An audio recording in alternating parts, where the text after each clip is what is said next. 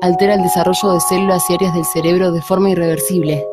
Y el 50% de los estudiantes menores de 14 años ya lo probó. Un chico sigue siendo un chico. No dejes que tome alcohol. Habla con él. Conoce otros daños en chicosinalcohol.org.ar. Es un mensaje del Consejo Publicitario Argentino. Fin del espacio publicitario. FM Mundo Sur.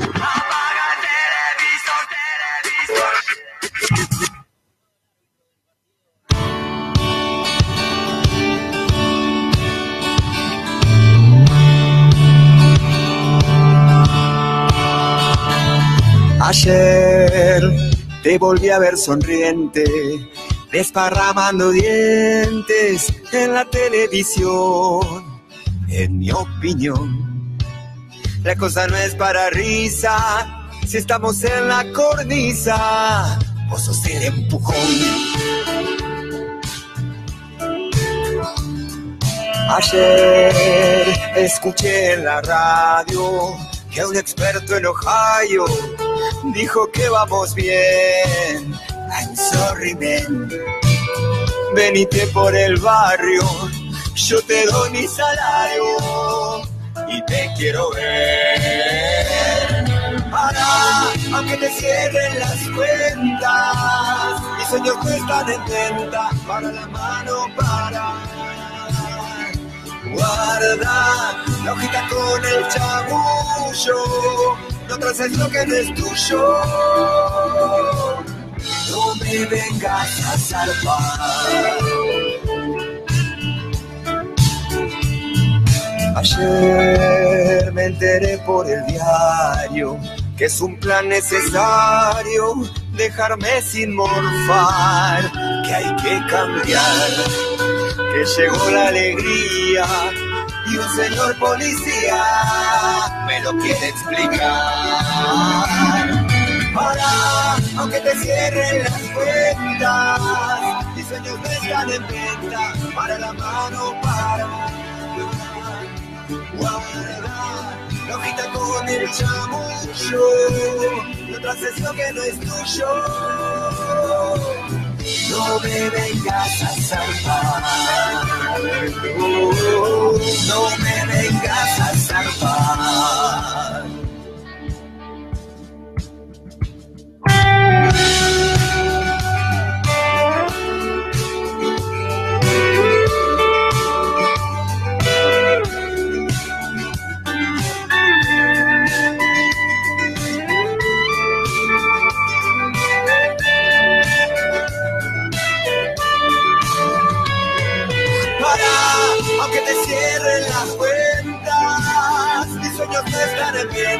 Para la mano, para.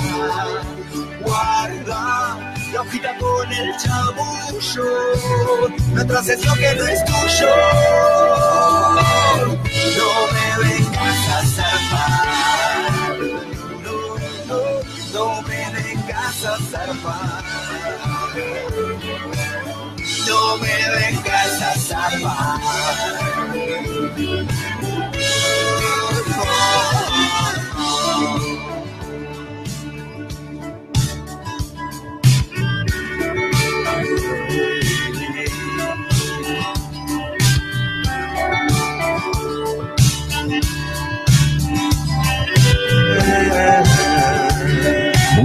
Y.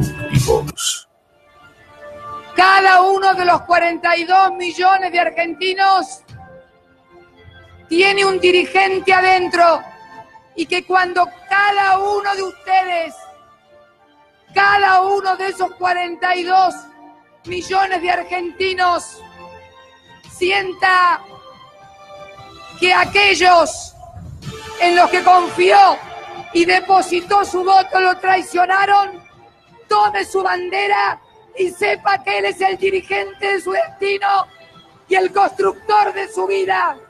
Que esto es lo más grande que le he dado al pueblo argentino, el empoderamiento popular, el empoderamiento ciudadano, el empoderamiento de las libertades, el empoderamiento de los derechos. Los llevo siempre en mi corazón y sepan que siempre voy a estar junto a ustedes. Gracias a todos. Bueno, muy, pero muy buenas tardes a todos y a todas. Viernes 15 de junio en toda la República Argentina y en todo el mundo, obviamente.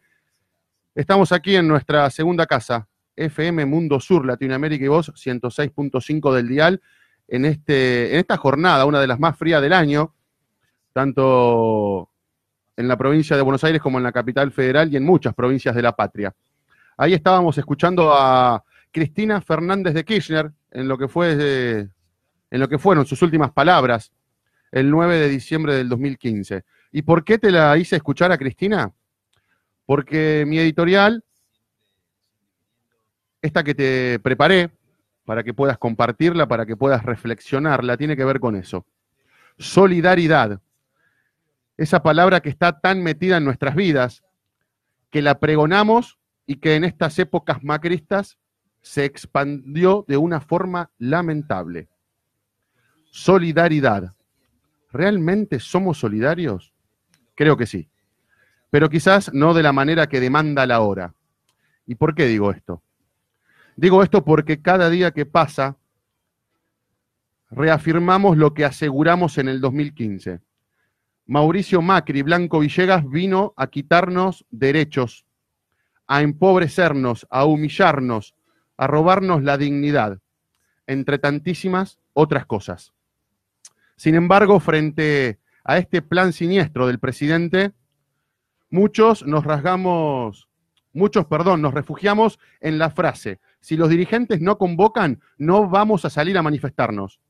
La CGT está vendida, etcétera, etcétera, etcétera.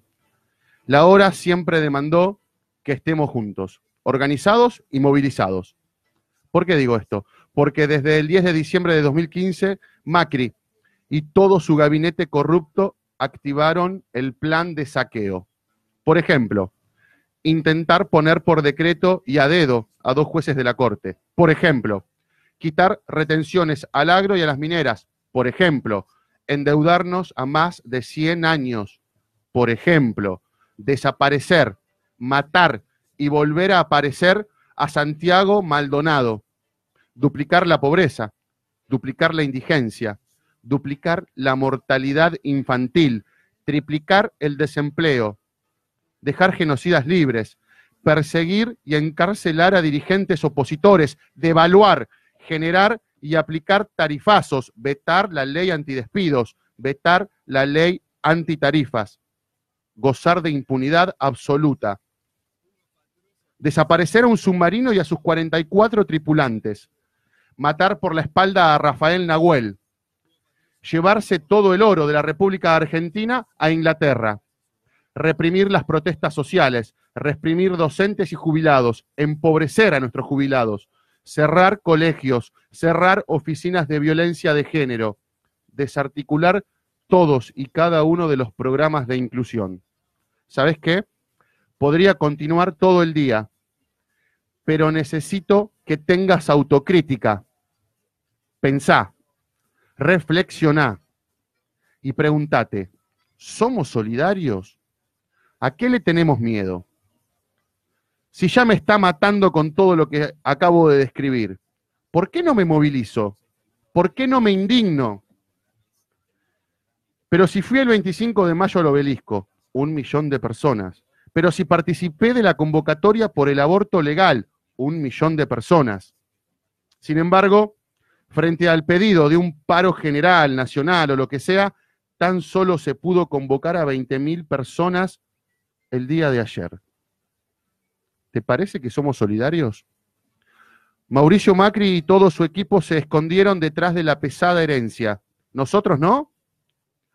¿No será que la pesada herencia también nos sirve para aceptar semejante brutalidad, aberración y humillación que sistemáticamente nos propina el presidente?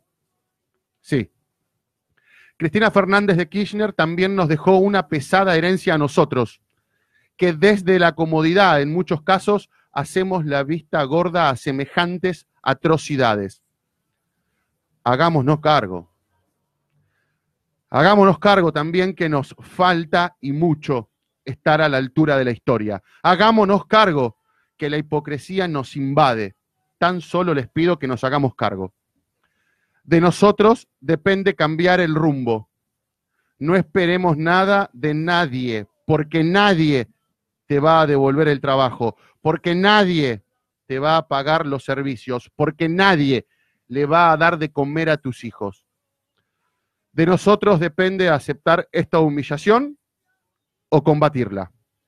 Ojalá estemos a la altura de las circunstancias. Y entendé, por favor, que no hay salvadores mágicos, que solo vos sos el dueño de tu destino. Esto es, quien quiera oír, que oiga.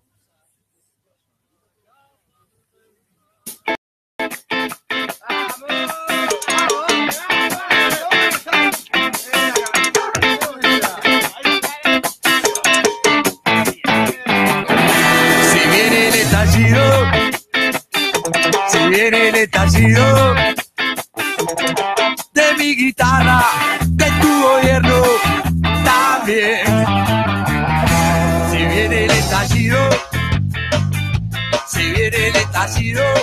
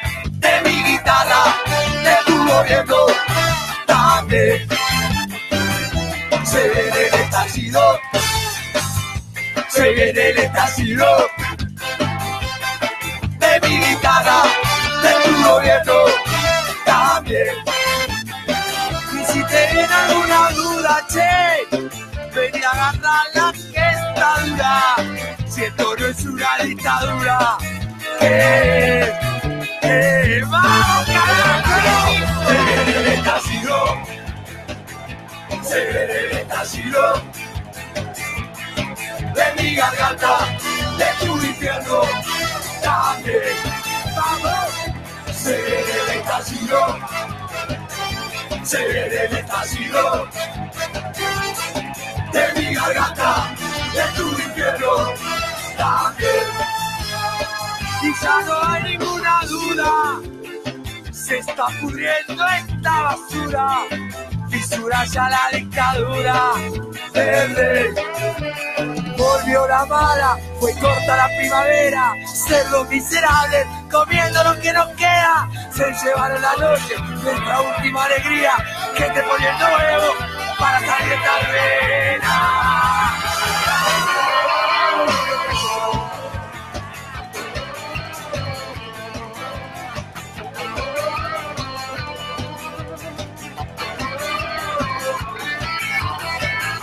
Se viene el estallido, se viene el estallido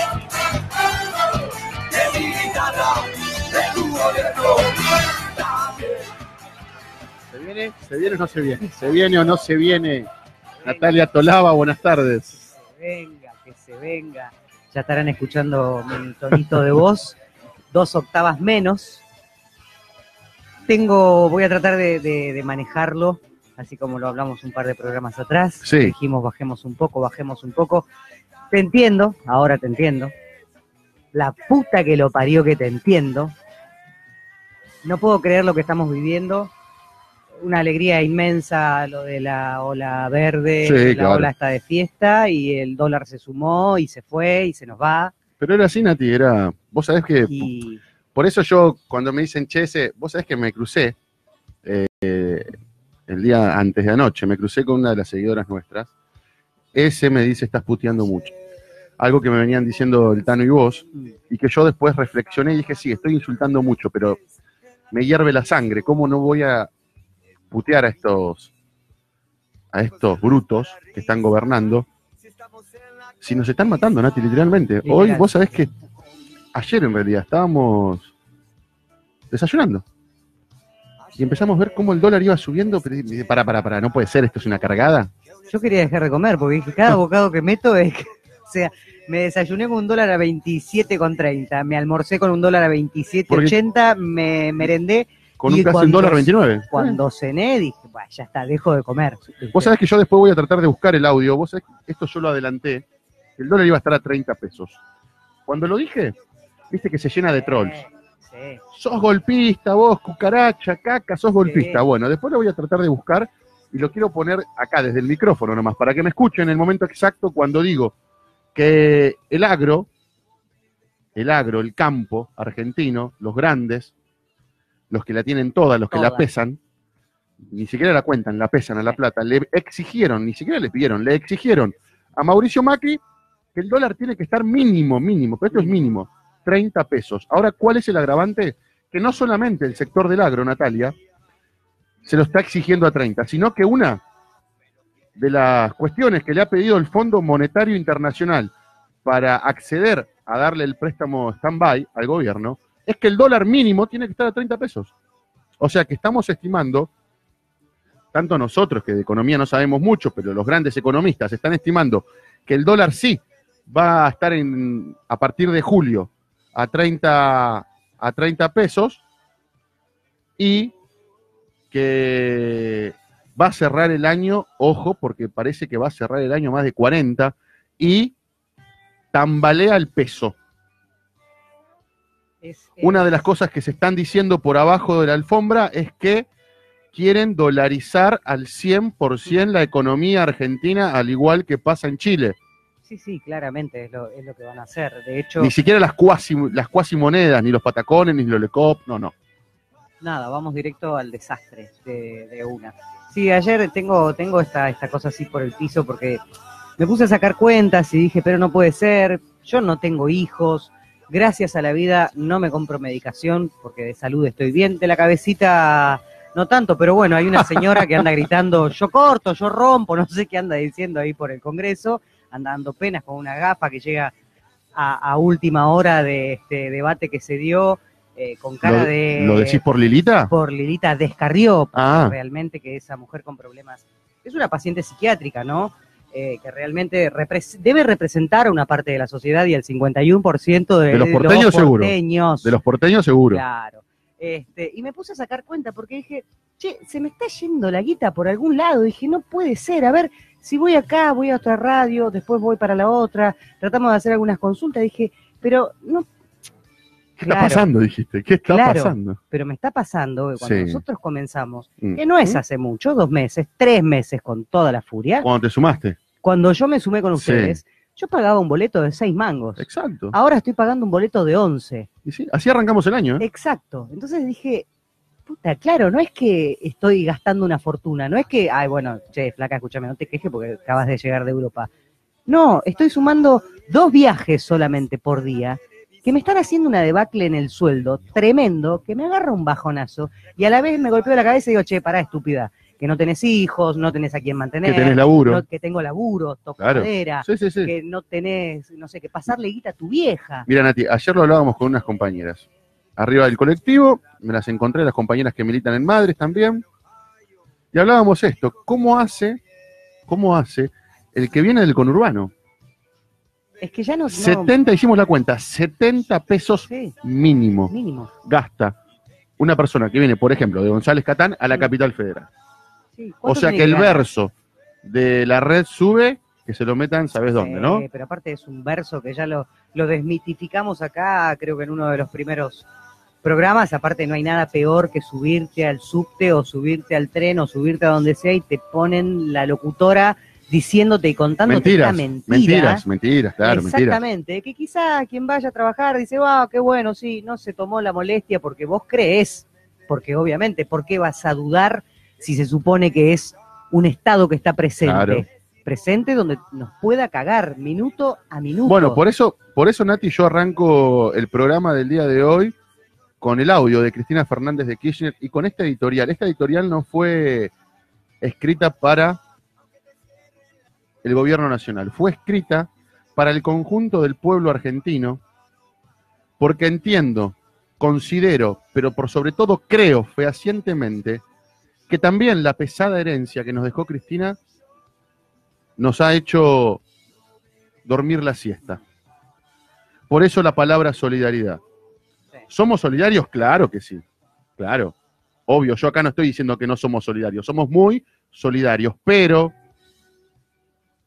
Macri nos hace pagar 6 mil pesos de tarifas, de luz, de gas, y vos sabés que como por culpa de la pesada herencia que nos dejó Cristina tenemos el colchón, Ahí está. y entonces la podemos pagar.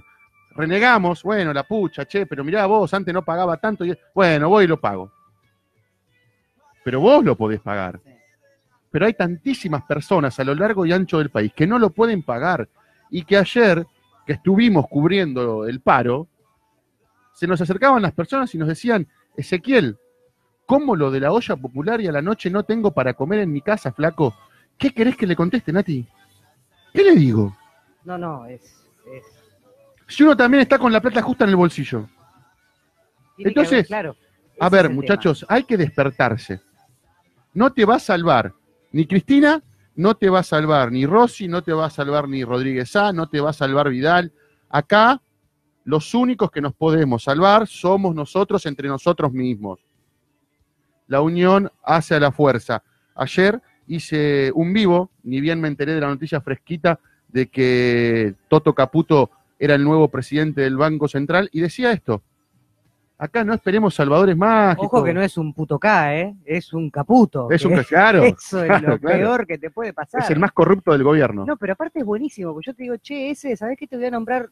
De- vos te compraste toda la cantidad de Levax, te voy a nombrar presidente del Banco Claro, Central. bueno. Y vos te vas a poner a poder poner tu propio número. Por eso, y no pasa ¿Qué nada, a ver, pero Nati, yo vuelvo a esto, y no pasa nada en la Claro. República Argentina. Nada. Cuando yo digo que somos poco solidarios, yo entiendo que la cantidad de personas que se autoconvocó en el día de antes de ayer y ayer al Congreso Nacional, muchos y muchas estuvieron en la vigilia cansados. Yo lo entiendo eso. Yo lo entiendo. Pero hubo un millón. Como el 25 de mayo hubo un millón. 20.000 personas ayer en el paro. ¿Cuántas veces escuchamos, cuántas veces escuchamos, tanto por, y vimos y leímos tanto por las redes sociales, por las cadenas de WhatsApp, estos hijos de puta carneros de la CGT no ponen eh, la fecha, hay que hacer un paro nacional, hay que hacer un paro, hay que hacer un paro. Y, muchachos, ayer fue el segundo paro, y ni siquiera de la CGT, de las dos CTA, de camioneros, de los gremios docentes y de alguno más. Pero y, me dio, te digo la verdad, que cuando llegué a la plaza, no, no, cuando llegué a la plaza me indigné. Lo agarré a Federico, el compañero que me acompañó, y le digo, Fede, esto no puede estar sucediendo, acá no podríamos ni caminar, acá no tendríamos que caminar, la plaza tendría que estar explotada. O sea, las veredas de Avenida de Mayo, pasaba la gente como si fuese un día de semana normal, porque por donde iban las Hasta con columnas, bolsos podías andar. pero claro, porque por donde iban las columnas era por la avenida, era por, por el asfalto, Claro. ¿me entendés? No por las veredas. Entonces, por eso digo, y planteo esto. Nosotros acusamos con el dedo al macrismo de que se escondieron siempre, hasta que, se les- hasta que tiraron tanto de la soga que se cortó, pero se escondieron siempre detrás de la pesada herencia. Después otra frase que utilizó el macrismo fue, ah, nos equivocamos, nos equivocamos. Bueno, tiraron tanto de la soga también que ahora tampoco no le cree nadie que se equivocaron, muchachos. Pero digo, volviendo al tema de la pesada herencia, hagámonos cargo, hagámonos cargo de que Cristina Kirchner nos dejó también la pesada herencia a nosotros. ¿Y quiénes somos nosotros? La clase media. La clase media, clase media baja, que todavía puede aguantar los embates del macrismo, porque si no, no se entiende, porque si no pasaría lo que pasó en el 2001, en diciembre del 2001. Y eso no sucede. A ver, te enumeré muchísimas situaciones del macrismo, muchísimas. Y no pasó absolutamente Nada. nada. Absolutamente. Nada, ¿eh? Porque, a ver, ¿de qué sirve, Nati, meter 500.000 personas con el 2 por 1 ¿De qué carajo sirve meter un palito el 25 de mayo? Un palito, tibios. un palito en la ley de aborto legal. ¿De qué sirve? Somos tibios. Creo que, que- que Exactamente. la cuestión colonizadora esta que te hace mirar para Europa para querer asemejarte a ella, pero depende, porque si en Europa, en Francia, España, esos países que idolatran todos, o en Estados Unidos, depende. Si la cuestión es que el aborto legal, ah, bueno, no, ahí no, porque es asesinato. ¿Nos queremos parecer en qué? ¿En qué nos queremos parecer a esos países? No, yo sabes qué te diría ahí. Queremos ser colonia, solamente eso. viste, somos la prole y parece que nos gusta ser el proletariado. Sí. Pareciera que nos gusta, somos hijos del rigor. No sé, tú Vos sabés que hoy me tomé un Uber para el tachero que me está escuchando. Consumo Uber. Y si es más barato. Y sí, claro. Pero es obvio. Es que eso es lo que terminamos haciendo. Claro, bueno. Ahora, yo no sé a qué país nos queremos parecer. Lo que sí digo acá en esta radio y en este programa es que yo me saco el sombrero con los laburantes de Francia, viejo. Y me voy Sí. y no me voy a cansar de repetir esta situación. 15 días le pararon el país a Macron y lograron el objetivo. ¿Qué carajo nos pasa a nosotros? ¿Nos olvidamos del cordobazo? ¿Qué nos olvidamos del cordobazo? ¿Nos olvidamos del 17 de octubre? Nos olvidamos que vivíamos bien y que ahora estamos escuchando Claro. los macritips. Nos olvidamos que antes podíamos viajar los fines de semana largos. De hecho, era exilio a la costa, Total. titulaban los grandes diarios. Y hoy de repente, ¿te acordaste de comprar las medialunas de ayer? ¿El pan de ayer, Tolaba? Es patético, pero en serio que es patético y no sé por qué lado. Tenemos una cosa así muy mm, de, de explotar porque no Reaccionarios. exactamente. Somos reaccionarios. Y tengo una amiga que me dijo, flaca, ¿sabés lo que necesitas vos? Leer esto. Me leí absolutamente todo. No sé qué cuerno hacer con todo lo que leí.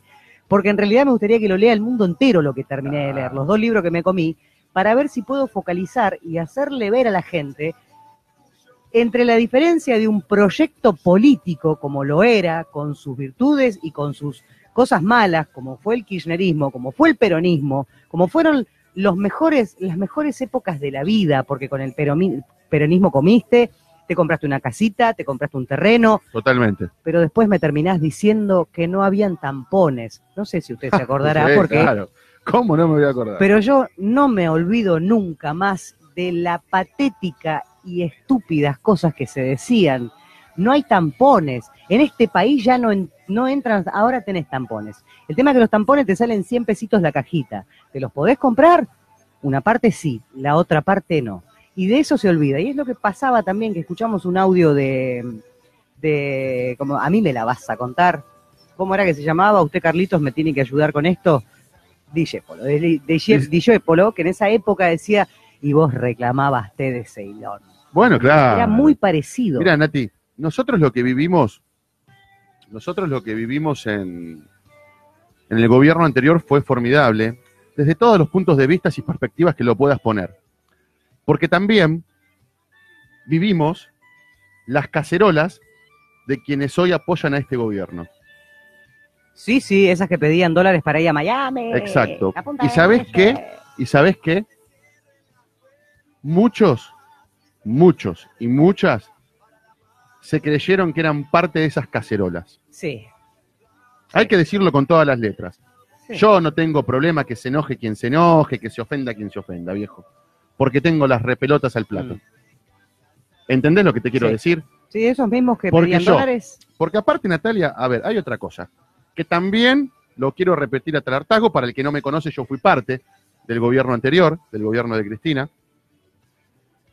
Y vos sabés que cuando yo, y esto quiero que quede bien claro, ¿eh? cuando digo que Cristina nos dejó una pesada herencia que ahora nos genera comodidad y que nos olvidamos, hermano, de que la patria es el otro. Ahora somos todos cristinistas, somos todos cristinistas. Quiero que vuelva Cristina. Cristina primero no tendría que volver, tendría que descansar. Nos dio tanto y te dimos tan poco, Cristina, tan poco te dimos. Entonces, a ver, vamos a poner las cosas, por lo menos desde mi lugar y esta es mi opinión. No es que es una verdad absoluta, es como siempre una verdad relativa. Pero digo, es por eso el audio de Cristina. ¿Nos empoderó? Claro, Sin duda. pero sin dudas. ¿Nos metió en la cabeza y en el corazón que la patria es el otro? Sin dudas. Remeras, tatuajes, los vi. La patria es el otro. Y te estoy diciendo que duplicaron estas bestias la mortalidad infantil. Te estoy informando, te estoy diciendo que duplicaron la pobreza, que duplicaron la indigencia, que triplicaron el desempleo. Y los escucho decir, los escucho decir que vamos al paro nacional, que vamos al paro nacional, que pongan la fecha, no importa si no fue paro nacional, paro general. Ayer hubo un paro. Ayer hubo un paro. 20.000 personas. ¿Vos te pensás que le hicimos algo al ingeniero? El ingeniero, mientras estaban esas 20.000 personas movilizadas, el tipo se nos cagaba de risa en un acto frente al río, sabiendo de antemano, porque es tan canalla Macri, que sabiendo de que Sturzenegger ya no seguía y que ya tenía el reemplazo que era Toto Caputo, con un dólar casi a 29, cerró bien el traste y no nos informó como presidente de la nación argentina. Entonces, ¿qué estamos haciendo? ¿Qué estamos esperando? Yo quiero, a ver, quiero que me expliquen qué estamos esperando. Acto de Cristina el 9 de diciembre, 700 mil personas o más. La fuimos a despedir. ¿A dónde está? ¿A dónde están esas 700 mil personas, viejo? Como cuando la- eh, fue Cristina Comodoro Pi, la primera vez. 200 mil, 300 mil personas, ¿a dónde están? A eso es cuando digo seamos solidarios, carajo. Eso es lo que digo. Sí, eh, yo no, no sé qué es lo que más, eh, vos bien lo decías en, en tu editorial ese, eh, Lara San Juan. Bueno, ni hablemos porque le- gran parte de la sociedad le ha dicho el hippie este que no sabía nadar y tanta barrabasada.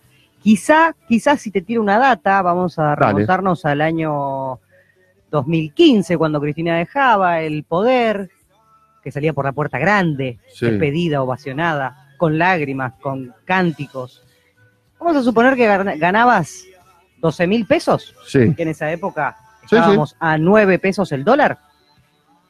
Tu bolsillo, o sea, tus dólares en el bolsillo a fin de mes eran 1.333 dólares. Fue uno de los sueldos en dólares más altos. Fue el sueldo en dólares más alto de la región. alto. Superando a Brasil, superando. Exactamente. Sí, Vamos a suponer que después de esos 12 mil pesos que ganabas por mes y que era, significaba 1.333 dólares, vamos a suponer que tuviste una paritaria más, Sí. más o menos digna, Sí. que fue al Oh. toque que se fue Cristina porque ya estaba, ya Claro. estaba firmada. No la podían bajar. No la podían bajar. Que de hecho hay algunos que, que se las bajaron y que todavía la están reclamando. ¿eh? Exactamente. Bueno, vamos a suponer que de 12 hoy estás cobrando 14. Hoy cobras 14 lucas. Vamos Sí. a tomar el dólar, ¿lo tomamos en este minuto o lo tomamos dentro de 5? Claro, claro. Lo vamos a tomar. Tomalo ahora, tomalo ¿Qué ahora. está? ¿En tomalo ahora, sí. 28? Ahora ya te digo cuánto está cotizando la moneda. 28,50 fue la última. 20, sí. 28,50. Ponelo Vamos a 28,50. poner 28,50 porque en dos minutos cambia. De 1.333 dólares, hoy tenés 491 dólares. No te lo estoy diciendo yo, podés simplemente revisar los datos, meterte en internet, fijarte algún, algún diario que tengas viejo del año 2015, cuánto era el dólar real, que en ese momento los grandes pesos. medios los 9. grandes medios te hablaban del dólar real y del dólar blue, paralelo, ilegal. Es como si yo te diga, delito. che, el kilo de merca sale tanto, ¿Para porque era lo mismo, Para tu lava, ¿tú dijiste 28 cuánto? eh, 28,50. 28.80 cerró 28,80. la mirá. divisa estadounidense en el día de hoy. O sea que tenés menos plata, tenés algo de 480 dólares. En el banco hipotecario de la Sí. República Argentina, el dólar, la divisa estadounidense, en el día de hoy cerró a 29 pesos. Ahí tenés. En el nuevo Banco del Chaco, la divisa estadounidense cerró a 29 pesos con 66 centavos. En Banco de la Pampa, 29 con 35. Banco Roela, 29 con 50. Banco de Córdoba, 28 con 80. Banco Galicia, 29 pesos. El más alto es sin duda eh, el nuevo Banco de Chaco. El nuevo Banco de Chaco casi rozando los 30 pesos. Bueno, tenés un, tenías hace dos años, simplemente dos añitos atrás, tenías un sueldo, si lo tomabas en dólar, de 1.330 dólares. 1.300 dólares vamos a ponerle. Hoy tenés un sueldito de 480 dólares. ¿Sabes ¿Y los qué jubilados? eso? Sí. Devaluación. ¿Y los jubilados? Ni hablemos de los jubilados. que 200 deben estar- dólares. 200 dólares. Ahora menos, claro. con el dólar a casi 29, 170 dólares, Claro. algo así. ¿Qué es? Un taxi, dos pizzas. Como dijo Alfonso O sea, Pratgay. Una, eh, realmente es una tomada de pelo y qué mansos que somos los argentinos. Bueno, qué mansos que somos los argentinos. Y cuando hoy me quise dar cuenta, dije, bueno, pucha, che, con esto que subió el dólar, imagínate que cuando, cuando, a su, cuando Cristina modificó el dólar de 8 a 8,05, las tapas de los diarios. Oh. Le comían el hígado directamente. Y hoy miré y dije, claro, Las redes, ¿qué van, a, ¿de qué van a estar hablando? ¿Dólar, dolarazo, se va toda la mierda? ¿Algún tipo de trending topic así? No. Lo que hay es Cristiano como Mundial, primera Uruguay, tendencia, Uruguay, Portugal versus España, claro. La Torre, que yo no sé si será Diego La Torre porque ya está grande para jugar al Mundial, No, pero... pero... creo que es por el por la cobertura que hace Diego Latorre para Fox. ¿no? Y así siguen y continúan todas las tendencias. Ahora, este tiene suerte. Tiene No, suerte No, no, no. tremenda, porque somos pasivos, no. somos, es como, viste, te muevo la manito para acá y te voy sacando por acá y vos vas corriendo atrás de, de esta zanahoria. No sé por dónde. Yo no sé si es suerte, Nati. Yo no sé si es suerte que tiene el ingeniero Mauricio Macri Blanco Villegas. Lo que sí sé que quiero redondear esta idea del dólar es que ¿sabés lo que pasa? Es que ¿sabés lo que está pasando en la República Argentina? Que está a un pasito nada más de la extinción nuestra moneda nacional. Mm. Mirá, acá lo venimos diciendo y repitiendo. El vendepatria, el cipayo. Estos, como bien decía Natalia Tolaba, quieren que seamos colonia. Falta. Mirá que yo dije, bueno, capaz que debo estar loco, porque en algún momento se me ocurrió, viste, dije, capaz que veo la bandera yanqui flameando en la República. No te sorprendas, Tolaba. ¡Sí se puede! Sí. Sí, sí se puede. Por eso, Carlito, vos también. Sí. No se sorprendan, muchachos y muchachas, si un día vas caminando y ves flamear en la casa de gobierno la bandera yanqui. Porque que desaparezca el peso argentino y que nos dolaricen la economía es de una gravedad institucional como nunca se vivió en la República. Ahora, nadie lo quiere ver, nadie lo quiere entender. Yo, ¿sabes qué, Nati? ¿Puedo ponerme en el lugar del otro? Claro, porque yo trabajo la empatía Mm. me puedo poner en el lugar del otro. Pero cuando me pongo en el lugar del otro, me voy a poner en, los lugares de todos los otros, que es el de clase media que tiene el laburo y que puede pagar los tarifazos, que es el que no tiene para comer, que es el que no tiene eh, un lugar para dormir. Me voy a poner en el lugar de todos. Y voy a entenderlos, que hay un temor, porque acá nada es casual, ¿eh? No creamos que esto No. es casual No. que Patricia Bullrich continúe siendo la ministra de Seguridad no es casual, porque Patricia Bullrich tiene la orden directa de reprimir cualquier protesta social que se desvirtúe. Entonces, claro, te reprimieron a los docentes, te reprimieron a los jubilados, te reprimen sistemáticamente, te reprimieron en Cresta Roja, te reprimieron en el INTI, te reprimen, Te reprimen. te reprimen, punto. Es que es de la única forma Entonces que te generan esto. el miedo. Claro. Entonces, si vos todavía gozás de la pesada herencia de Cristina, aunque digas Macri es una basura, vas a pensarlo, che, pará, pero si voy me recagan azote. Sí. Y, viste, entonces no te vas a querer ir a hacer cagar a palo. Quien te habla, sí, yo voy y le pongo el pecho, a mí me, ¿sabes qué, no? Pero, y ahí voy, con- vuelvo a la solidaridad. Pensemos que hay compatriotas que antes podían alquilar una habitación y que podían ir a changuear. Ahora ya no tienen para changuear, por ende ya no pueden pagar la habitación, por ende quedó en la calle, indigente. Exactamente. Sí. El que no tiene para comer, ¿qué hace? De eso se trata. Mm. Entonces nos tenemos que unir. Yo no sé cómo se puede articular esto. Olvídate de los dirigentes políticos, olvídate de los dirigentes sindicales. Ninguno, ninguno, ninguno te va, ninguno te va a salvar de esta inmundicia que es la era Macri en la República Argentina. Así que, ¿sabes qué? Pensá, reflexioná y tratá al menos de pensar que a los costados tuyos hay gente que la está pasando muy, pero muy mal. Hay una noticia que hoy vos me pasaste y que la hicimos y que la subimos al portal, Natalia, que tiene que ver con María Eugenia Vidal. María Eugenia Vidal es la gobernadora de la provincia de Buenos Aires y que vos sabés que cayó abruptamente en las encuestas, pero no tanto como hubiésemos pretendido nosotros. Los jóvenes pobres no pueden ir a estudiar a la universidad pública. Bueno, ella, que es totalmente pura, que, ¿qué es eso de corrupción? Blanca y pura. Claro, claro. Bueno, que nosotros hicimos una notita. Nosotros hicimos una notita, armamos una nota. Antes de, de leer la nota, Tolaba, a nuestros seguidores, a quienes se nos están sintonizando por el 106.5, les decimos que tenemos redes sociales. Tenemos redes sociales y hasta las 8 de la noche vamos a estar acá haciendo quien quiera oír que oiga a través de FM Mundo Sur, Latinoamérica y Voz 106.5. Nuestro Twitter, arroba quien quiera oír K. Nuestro Facebook, quien quiera oír que oiga la voz de la gente. Búscanos en Instagram, quien quiera oír que oiga OK.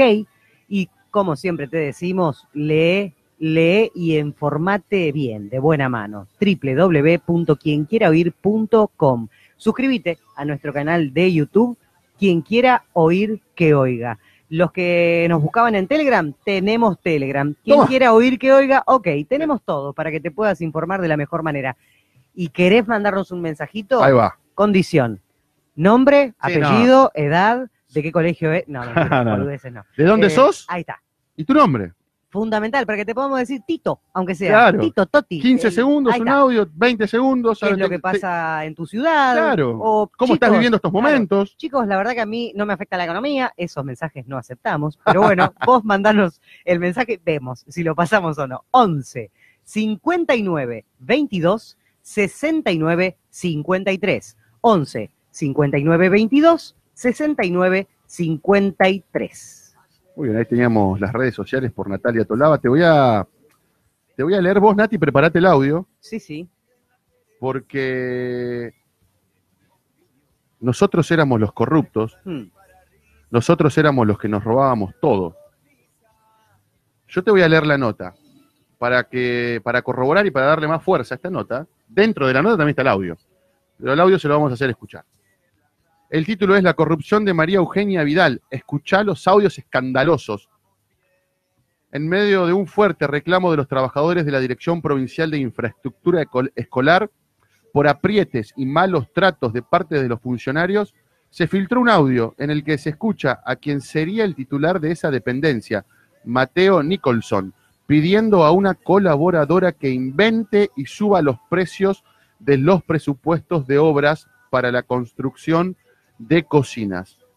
Yo sé que no lo tenemos listo, pero necesito inventar los presupuestos que nos faltan, dice el funcionario ex CEO de Consulterra Sociedad Anónima, luego de aclarar que los necesita porque hay una reunión con María Eugenia Vidal, por lo que necesito cerrar el tema de las cocinas. Ponele, Cheto Lava, ponele el monto que vos, que vos calcules por metro. Obviamente que no dé muchos números redondos. No sé, un millón cero cincuenta y cuatro, por ejemplo. Claro, para ser creíble. Claro, un millón cero cincuenta y cuatro. Pero, a ver, hablan de un millón como si yo te dijera, Nati, Sí. préstame 100 pesitos para Uber. Para- claro, para, para, para cargar la sube, Claro, ¿viste? claro. Pero bueno, la nota la podés leer en www.quienquieroir.com, pero ahora escuchá el audio. Escuchá el audio completo, dura un minuto, de este Nicholson, colaborador y funcionario de María Eugenia Vidal, y obviamente que María Eugenia Vidal de ese millón, ¿cuántas se llevará? Mamá. Medio millón. Y te quedás corta, dale, Tolaba. María, ahí me acaban de llamar que hay una reunión con María Eugenia eh, el miércoles a la mañana. Necesito mañana cerrar el tema de las cocinas. Yo sé que no lo tenemos listo, pero necesito inventar eh, los presupuestos que nos faltan. O sea, tal cocina, si vos sabés que es nueva, eh, ponele el monto que vos calculás por metro. Obviamente que no de un número redondo, no sé, un millón cero cincuenta y cuatro. Después si se modifica en el presupuesto real no importa. Pero mañana si podés pasarme las 79 cocinas con los montos, quedé alrededor de 80 millones, que fue lo que yo pasé. Porque vos me habías dado un- las primeras 17, el promedio daba 700 mil pesos. Y yo lo tiré para arriba y dije que nos iban a costar promedio un millón, con lo cual eran 79 cocinas, 79 millones. Fíjate si mañana me, tenés- me pasas el listado, el detalle de una por una y el monto de cada una. Solamente eso necesito, no el proyecto. Bueno, 80 millones. Clarito. Pa, Aparte pa. dice, necesito que inventes. Necesito que... Claro, dibujá, dibujá números. Inventes, dibujá números. Es... eh, Eso cambiemos, pero a mí no me sorprende. A ver, Nati, a mí no me sorprende, pero ¿por qué hay que contarlo? ¿Por qué hay que contarlo? ¿Por qué hay que tratar? Vos sabés que la nota en el.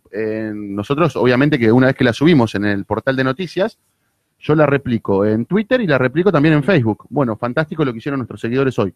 Muy compartida la nota. Muy compartida. Creo que ya superó las 100 veces compartidas. Si los que tienen la posibilidad después de meterse en Facebook y los que nos están viendo ahora, sigan compartiendo la nota. Que se viralice. No sé quién, quién será el encargado de denunciar a este funcionario, si le cabe también a María Eugenia Vidal, pedir todas y cada una de las facturas, ver cuántas cocinas en realidad. Porque también entendamos que, que es la misma María Eugenia Vidal la que quitó la copa de leche en la provincia de Buenos Aires a los pibes, es la misma María Sí. Eugenia Vidal que envía cajones de verduras y de frutas con nidos de ratas, literalmente. Es la misma María Eugenia Vidal que eh, ayer, eh, Baradel, Roberto Baradel, le hicimos ahí en el paro una, una notita. Yo le pregunté cómo está, Roberto, el tema de las paritarias. ¿Le sigue, ¿Le sigue ofreciendo el 15? No, ahora nos ofrece menos. Claro. No, no, Sí, terrible, sí. terrible. Bueno, esa, chicos. esa es María que- Eugenia Vidal. Tenemos que adaptarnos. Está Es María Eugenia- dólar. Es María Eugenia Vidal, la que, Carlos, tenemos el audio de María Eugenia Vidal, quiero que lo pongamos, el audio de María Eugenia Vidal diciendo que los pobres no tienen derecho a estudiar en la universidad pública para refrescar la memoria, porque Sí. yo no quiero que pasen las cosas. Mm. Sí, sí, O sea, detengámonos un poquito. ¿Quién es María Eugenia Vidal? María Eugenia Vidal es, por ejemplo, la que intentó cerrar 39 colegios rurales en la provincia de Buenos Aires. María Eugenia Vidal es la que cerró, literalmente esto, ¿eh? cerró seis colegios en el Delta. Iban a ser nueve. Se echó para atrás, dijo, bueno, tres no. Cerramos Sí. seis. Sí, sí, es la misma que bajó el presupuesto en cuanto a la comida de los pibes que se le da en los colegios públicos. exacto, es- Exactamente la misma. Es la misma Esa. María Eugenia Vidal que enfrentó a la Cruz Roja y que la Cruz Roja peligra.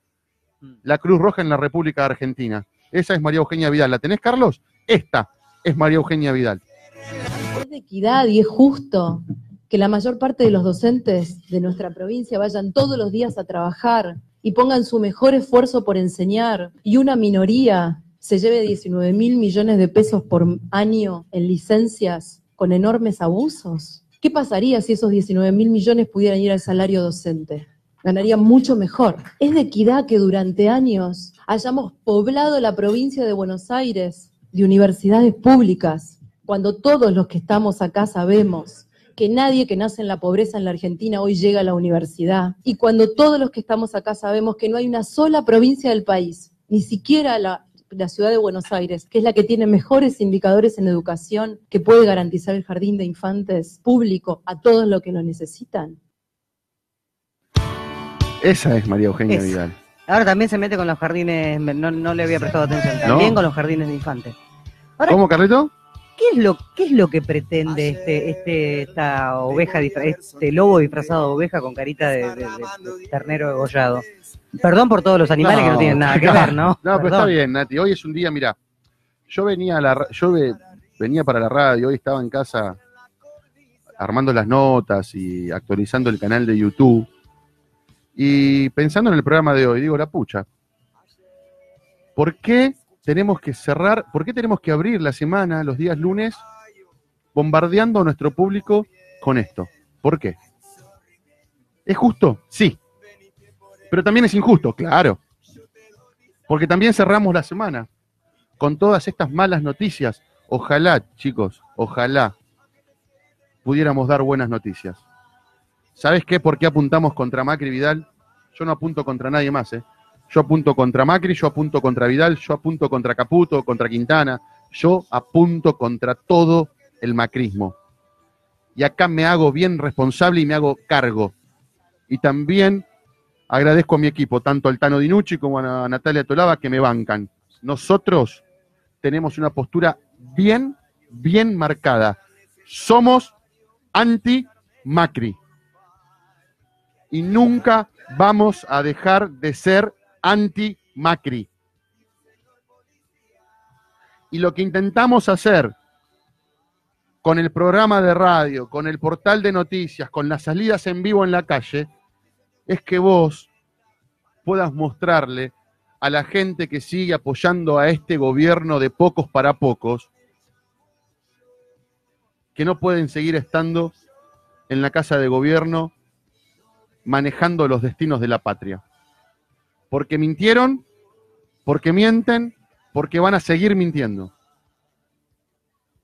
A mí el que me diga, che, déjense de joder con Macri, déjense de joder con Vidal, ¿sabés qué, te, ¿sabés qué le digo a esa persona? Agarrá y andate a otro lugar.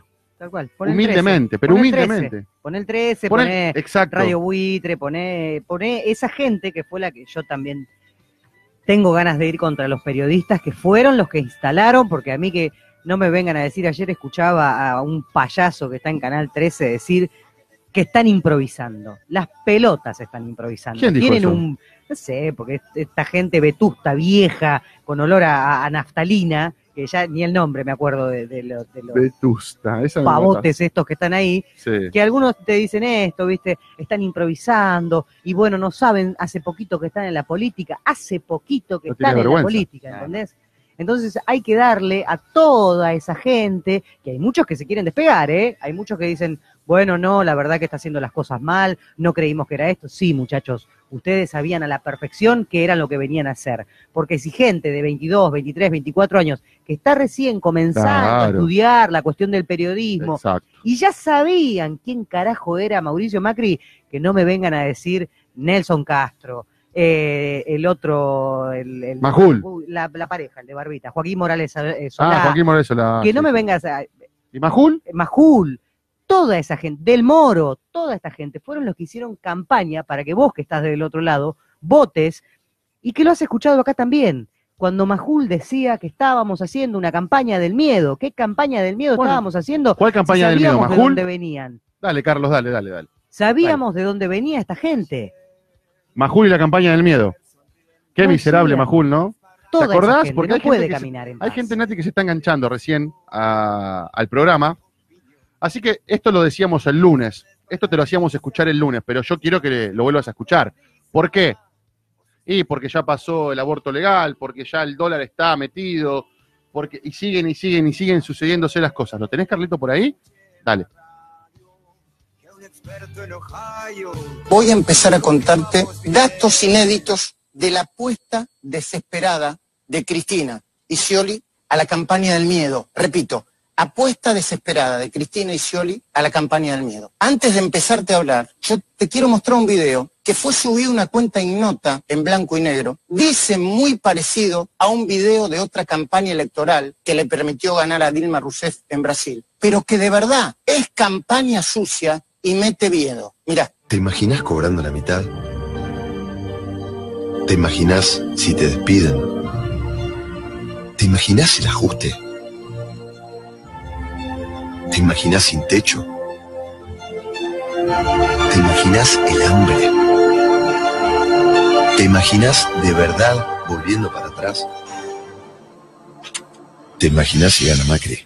Los agitadores oficialistas quieren hacerle creer a los desprevenidos que sobrevendrá una serie de catástrofes que de producirse todas juntas podrían hacer desaparecer a la Argentina. Desde la supuesta liberación inmediata de los condenados por delitos de lesa humanidad hasta una mega devaluación que llevaría el precio del dólar a más de 20 pesos. Se lo voy a preguntar a Frigerio, a Macri, a María Eugenia Vidal. Desde la promulgación de una ley contraria al matrimonio igualitario, qué locura, hasta la eliminación de todos los subsidios de las tarifas de luz, gas, agua y transporte. Desde la quita, dicen los fantasmas mentirosos, de todos los planes sociales hasta el despido masivo de decenas de trabajadores del Estado. Desde la instalación permanente en la Casa Rosada de las máximas autoridades del Fondo Monetario. Lo dijo eh, Pablo Echarri, con respeto, Pablo, yo te tengo respeto y cariño personal. ¿Qué conocimiento tenés para hablar de eso? El Fondo Monetario que se van a venir a instalar acá. Hasta la privatización de la educación en todos sus niveles desde la prohibición del ingreso de todos los humildes a los hospitales públicos como otro fantasma mentiroso, hasta el ajuste salarial más brutal de toda la historia de la Argentina. Bueno, eh,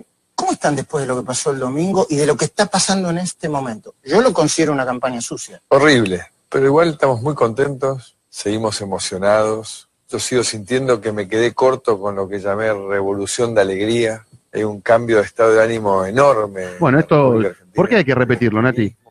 Porque tenemos que desenmascarar a estos rufianes. Ni más ni menos, ¿eh? Rufianes. Vos sabés que Luis Majura ahí me estaban pasando la data. ¿Sabés cuánto cobraba de pauta oficial? Fortuna, también la pesa. 14 millones de pesos. Claro. Vamos de nuevo con la cifra. 14 millones de pesos. El periodista independiente Luis Majul. 14 millones de pesos. Vos sabés que nosotros sí podemos decir que somos independientes, con una ideología y que nos hacemos cargo, y que los podemos mirar a los Majul, a los Leuco, a los Lanata, a los Fantino, a todos los podemos mirar a la cara y decirles que son unos miserables, que el mono por la plata baila y que se tienen que hacer cargo de que le mintieron durante toda la campaña presidencial del año 2015 al conjunto de la sociedad. Se tienen que hacer cargo, muchachos. Esta gente generó odio, ese, ese odio que te hicieron odiar a Fito Páez, te hicieron odiar a A Pablo los, ac- Charri, a los actores, actrices. te hicieron odiar y decir que actores y actrices y que todos los del Inca, que en, en algún momento podríamos hablar con, con Lola Bertet, la secretaria adjunta de- Sí, del Inca, para ver qué era lo que se hacía antes con Juan Palomino y también. qué es lo que está pasando con Juan claro. Palomino Claro, y qué es lo que está pasando ahora con los actores, que ya no estás viendo en la televisión, con esos periodistas, que te acordás que también hacíamos la campaña del miedo, que en realidad la hacían ellos, que TN puede desaparecer.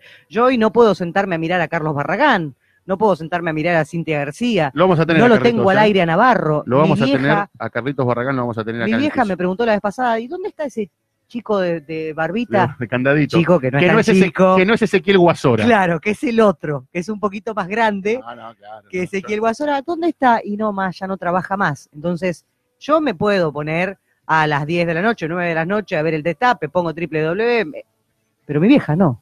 Entonces hay un montón de gente que nos, nos quedamos sin periodistas realmente. Televisión registrada, fenomenal. Laburo de los, com- de los colegas de televisión registrada, fenomenal. Gabriel Schulz Sí, con Pablito Rago, sí. fenomenal Sí. programa.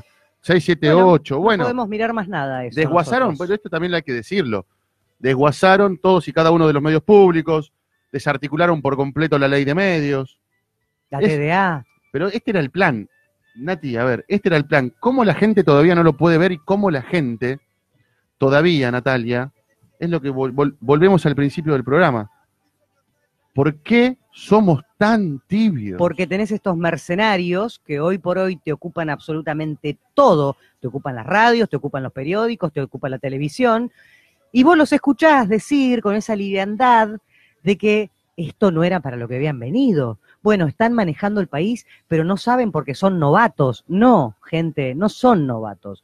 Ustedes son unos mercenarios que cobran guita, mucha guita, pero mucha guita, que no les importa que ahora explote todo por los aires porque se suben en sus tremendos autos, cierran las ventanas con sus vidrios polarizados, Claro. comen, se llenan bien la pancita, les importa muy poco si hay un pibe, dos no les pibes, diez pibes, no es muy 20 poco. pibes que Nada te va a pedir importa, nada. plata a la mesa, porque tenés seguridad, porque tenés que andar con seguridad, porque si no la gente te abuchea, porque no te podés manejar. No podés venir al microcentro, Majul, a hacer un trámite. Claro. Acércate al microcentro a hacer un ¿Por qué trámite, no vienen a- pero ¿por qué no salen a hacer consultas populares como No, salimos no a hacer pueden. nosotros? No puede. ¿Por qué no sale la nata a caminar por la calle tranquilamente y panchamente? no le da el aire, para, de- perdón, no le da la Sí. vida para, para caminar. Chiste negro, pero...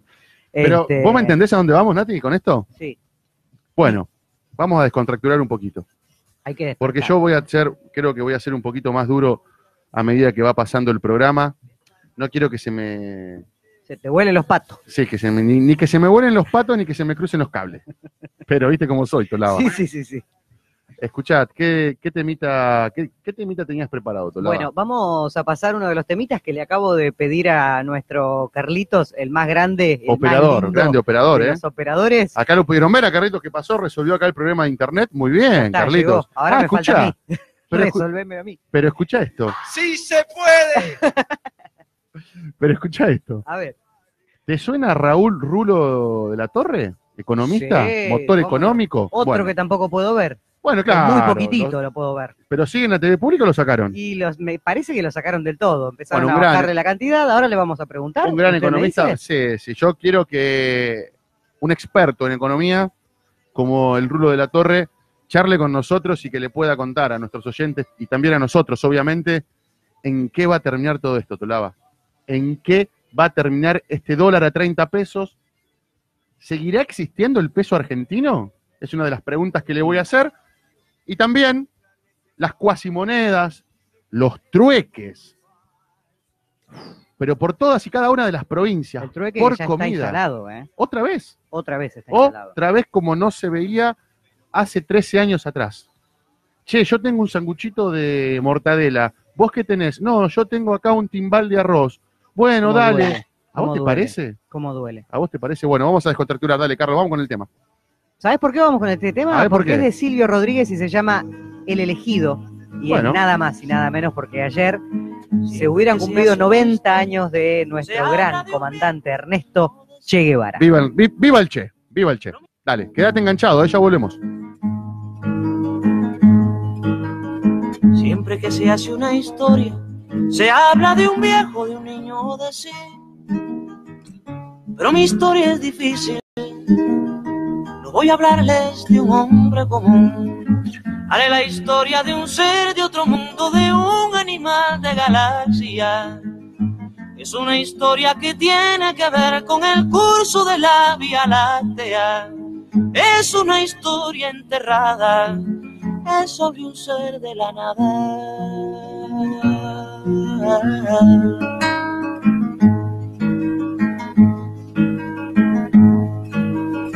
Nació de una tormenta en el sol de una noche el penúltimo mes.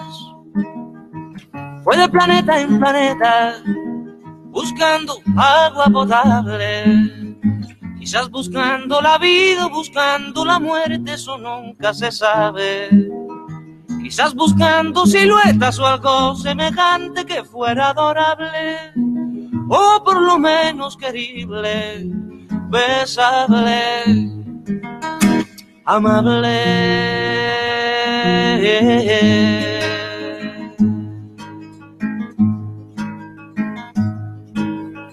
Él descubrió que las minas del rey Salomón se hallaban en el cielo y no en el África ardiente, como pensaba la gente.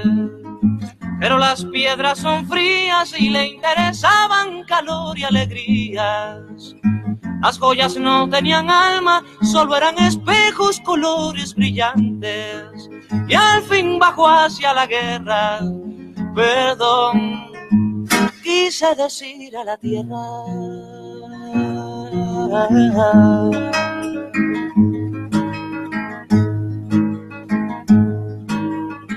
Supo la historia de un golpe, sintió en su cabeza cristales molidos comprendió que la guerra era la paz del futuro. Lo más terrible se aprende enseguida y lo hermoso nos cuesta la vida. La última vez la vi entre humo y metralla, contento y desnudo. Iba matando canallas con su cañón de futuro. Iba matando canallas con su cañón de futuro.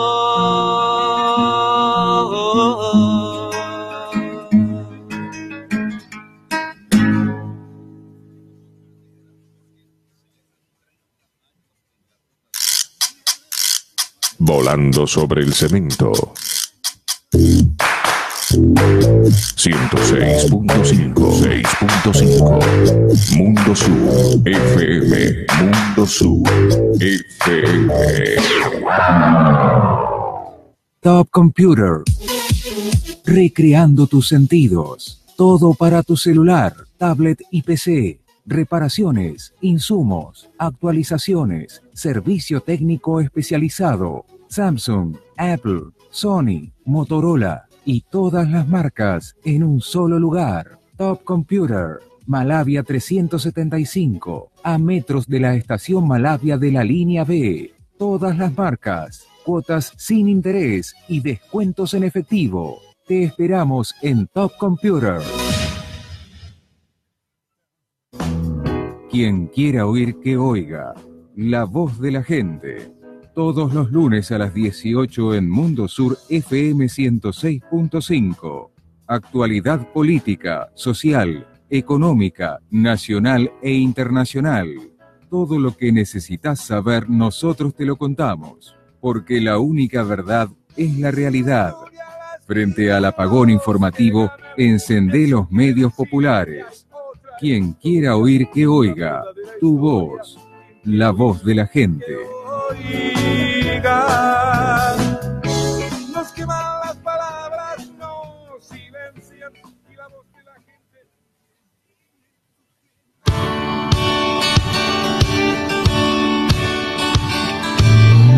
Bueno, ahí pasaba el tema de Silvio Rodríguez, 90 años, Ernesto Che Guevara. Mirá si viera el Che Guevara estas épocas macristas en la República Argentina. Bueno, el dólar rozando los 30 pesos. ¿Seguirá existiendo el peso argentino? ¿Quieren dolarizar la economía argentina? Bueno, para todo eso lo tenemos en línea al gran compañero, al gran economista y gran colega Rulo de la Torre. Rulo, querido Ezequiel Guasora, Natalia Tolaba, te saludamos. ¿Cómo andás? Buenas tardes. ¿Qué tal? ¿Cómo están ustedes? Gracias por la presentación. No, por favor, Rulo. Muy generoso. Preocupados estamos, estamos muy preocupados, al igual Sí. que nuestros oyentes, porque ¿qué va a suceder, Rulo? Vos, mejor que nadie, podés llegar a tener el panorama más claro de lo que puede llegar a suceder con la renuncia de Federico Sturzenegger del Banco Central y el más corrupto del gobierno de Cambiemos, como es Toto Caputo, que tomó las riendas de la presidencia del, del Banco Central.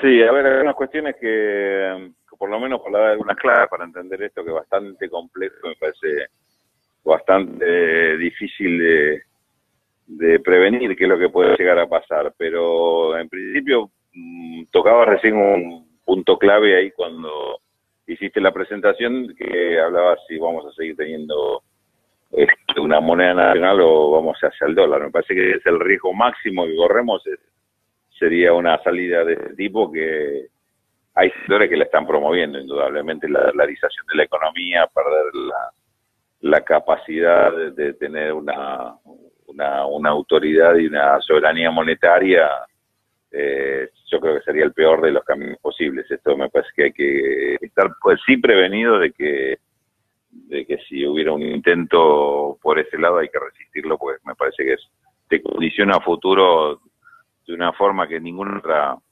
este, herramienta te condicionaría tanto. La experiencia de Venezuela, de perdón, de, de Venezuela, pero, pero sí la de, la de Ecuador, Claro. que tuvo el gobierno de Rafael Correa, que heredó una economía dolarizada y nunca pudo salir de ella, pese a que lo, lo intentó, es una- un, un ejemplo claro ¿no? de, de este tipo y habría otros para, para charlar sobre este asunto. Ahora, Raúl, ¿qué simili- Volvamos un poco. Sí, ¿qué yo Sí, quiero... de- no, decime vos. Yo te quiero preguntar, a ver, porque ¿qué similitud hay a, a la economía que tiene, por ejemplo, el hermano país de Chile? ¿Tiene algo que ver? ¿Es parecido, no?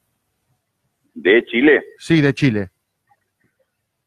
Como modelo, sí, tiene este modelo económico que se está aplicando en Argentina, tiene una, podríamos decir, una concepción bastante semejante al modelo chileno.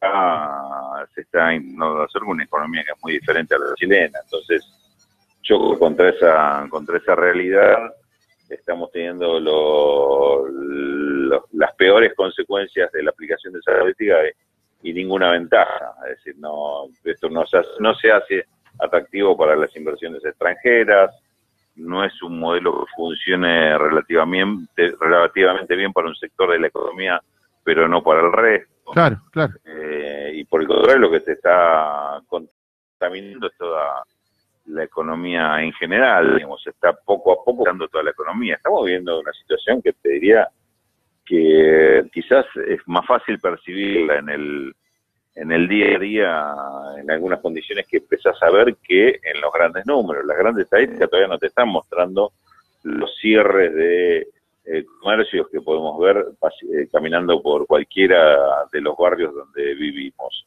La- las estadísticas todavía no están reflejando que muchas empresas medianas y pequeñas ya están sufriendo eh, la cesación de pagos porque o no pueden pagarle a sus proveedores o sus clientes dejaron de pagarle eh, o no hay precio porque van a comprar un producto a reponer un insumo y resulta que quien le vende le dice, mira, el precio está dolarizado, entonces si me pagas hoy vale tanto y si me pagas de- dentro de 15 días vere- veremos el valor que tiene el dólar ese día. Totalmente. Entonces es difícil este, programar cualquier tipo de producción si, si, si vos estás util- utilizando un insumo, calculando simplemente 15 o 20 días para pagar como una, una financiación mínima, pero resulta que si haces eso ya no sabes ni cuál es el costo al que le estás este, produciendo. Es decir, qué precio vas a vender y si alguien te lo va a poder comprar, el precio que vas a vender el día que tenga hay que este, incorporar todo eso al costo. Me parece que todas estas condiciones que se están viendo, te las cuentan, la están viviendo muchas empresas, eh, a, la, a la cual esta semana, te, te digo concretamente, porque no tengo por qué esconderte el dato, eh, Sí. empresas del sector textil, del sector calzado, este, en general de marroquinería, indumentaria, en una reunión que me invitaron a principio de esta semana, contaban que ellos ya están sintiendo en, en- en las ventas el tema de la caída de, la demanda eh, por impacto de las tarifas. Es decir, fíjate vos, estamos hablando de indumentaria, de ropa, que están vendiendo menos porque la gente está, está teniendo que destinar una proporción mayor de su presupuesto o, o de sus ingresos al pago de, de la luz, el gas o el agua. Entonces este, deja de comprar o de reponer ropas al ritmo que habitualmente lo hacía o, o- o al inicio de temporada. Bueno, Raúl, tenemos gente que nos dice, literalmente. Otro caso con el cual tuve oportunidad Sí. de hablar me dice, estamos eh, un poco jugando con la venta del stock que teníamos, sobre todo televisores, pensando en el mundial, pero sabemos que se termina esto y se termina todo. No, no, no están previendo que para el resto del año puedan tener un, un nivel de venta ni siquiera mínimo como para mantener la, la, actividad, aunque sea en su expresión mínima a nivel de, de fábrica. Con lo cual, todo este proceso me parece que explicando cada vez más, muy rápidamente, muy rápidamente, y las consecuencias eh, económicas abajo, digamos, a nivel este, de, de fábrica, de negocios, de, de ventas, de consumo, se están empezando a ver que tienen que ver obviamente con lo que pasa arriba en la macro, con el dólar, la inflación, este, las tasas de interés que volaron arriba del 40% y demás, que son, digamos, los síntomas, pero después la realidad la estás viendo, le- empieza a verse abajo con, con cierto retraso, ¿no? No, no inmediatamente. Bueno, e- ese, ese momento ya lamentablemente em- empezó a, a pasar. Ahora, Raúl, eh, vos sabés que yo, que soy un ignorante en la materia, me pregunto, yo tengo claro que, y lo dije hace tres o cuatro meses atrás, que la gente del agro le exigió, ni siquiera le pidió, le exigió al gobierno de Macri que el dólar tenía que llegar a 30 pesos, entonces empezaron las especulaciones. Ahora también sabemos que el Fondo Monetario está pidiendo el dólar alto. ¿Qué sucedió en el día de ayer que arrancó la divisa estadounidense a 27,20 y llegó a rozar los 29 pesos. Y hoy llegó a rozar los 30 pesos inclusive. ¿Qué, qué es lo que pasa en el medio? ¿Por qué sube? ¿Por qué esa escalada? Y que no la pueden frenar, de hecho. Eh, a ver, nombraste dos actores importantes en esto y un tercer. Son, ahí, ahí tenemos tres explicaciones diferentes. ¿eh? Sí, a ver. Este, déjame empezar por la última. Dale, dale. ¿Por qué sube el dólar? ¿Por qué sube el dólar? Porque lo que está viendo es un desfasaje muy grande entre los dólares que están ingresando al país, los dólares genuinos, podríamos llamarlo, que son los dólares que te dan, que te pagan cuando exportas algo, el dólar de alguien que viene para invertir o, alguien que trae los dólares que tiene afuera para, comprar una máquina o para, este, qué sé yo, para ampliar el, un negocio o un taller, eh, los dólares que puede dejar un turista que viene del exterior, todo, esos son dólares genuinos. Lo que vienen como deuda no son genuinos, porque son dólares que estás entrando este, con el compromiso de que esos dólares vas a tener que devolver. O tampoco son genuinos los dólares que entran por la bicicleta financiera. Alguien que trae los dólares para hacer diferencia con las tasas de interés y con la perspectiva de que en 30, 90 días se lo vuelve a llevar. Digamos, lo otro sí es genuino. Bueno, esos dólares genuinos lamentablemente son cada vez menos y no llegan a compensar la salida que hay de dólares por las mismas razones. Es decir, en vez de comprar, en vez de vender cuando compras productos, así cuando importás, los dólares que dejan los turistas argentinos cuando se van al exterior, este, los dólares de, de- de capitales que se están fugando del país, que se siguen fugando, y en grandes dimensiones este, todavía. Es decir, esa descompensación hace que sean más los dólares que te compran para, para irse que los dal- dólares que te venden en el mercado. En el mercado entonces hay una exceso de, de- de- de- de demanda de dólares sobre eh, los dólares que, que van entrando. Eso, cuando no interviene el gobierno, no interviene de ninguna forma. Es decir, ahora, por, por las condiciones que fijó el Fondo Monetario Internacional, el Banco Central no vende más dólares. La última venta la hizo Sturzenegger a principios de me parece que le costó la cabeza. Eh, entonces, si el Banco Central no interviene, no tenés oferente de dólares. Si no tenés oferente de dólares, el precio va, a tender a subir. ¿Por qué? Porque aparte de, los dólares que se necesitan para todo esto, hay especuladores que dicen, si esta es la situación, si este es el desbalance que tenés, el dólar va a seguir subiendo. Entonces, es como eh, la, la, la teoría es autocumplida, es decir, estás viendo que va a subir el dólar, entonces lo que haces es compras dólares porque especula con que suba. Si compras dólares, vas a hacer subido el dólar, además de las razones que ya existían antes. Hoy tenés la especulación que está traccionando para que el dólar suba, para hacer negocio, y una realidad concreta que te hace que tenés un desfasaje que te hace que, que- que te suba el dólar. Esto es lo que pasa. Voy al Fondo Monetario Internacional. Frente a esta situación que el Fondo Monetario Internacional sabe, aunque el gobierno no lo cuente, el gobierno te, cuenta, te habla del déficit fiscal como si ese fuera el origen de todos los problemas, y ni siquiera es el origen principal del problema. El Fondo Monetario Internacional dice, frente a esto que está pasando, ¿qué es lo que se puede hacer? O regulás la economía, regulás el manejo de dólares, administras absolutamente los dólares y, lo que hacen los bancos, o si no, si haces una política de libre mercado, como le dicen ellos, es decir, ¿cómo freno esto? Y pongo un dólar recontra alto y cosa que, que la mayoría no llegue a ese, a ese dólar, entonces ya nadie importa porque el dólar es carísimo, ya nadie va a fugar más plata porque si llegó tan alto es porque no va a subir más, más de eso, eh, ya nadie va a hacer turismo en el exterior porque ese dólar es imposible de pagarlo. Digamos, un poco la teoría del Fondo Monetario es cuanto más alto el dólar, mejor porque se equilibra. Esta es la teoría.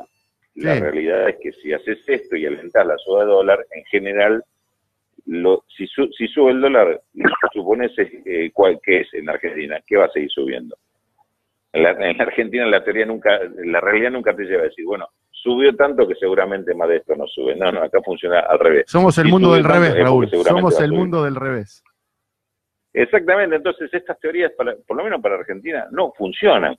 No hay forma de que esto sea una solución, lo que está planteando el Fondo Monetario, con lo cual estamos en, un, en una dificultad este, que estamos viendo todos los días, pero además yo te diría que estamos haciendo todo para que esa dificultad siga ocurriendo, no para que se resuelva.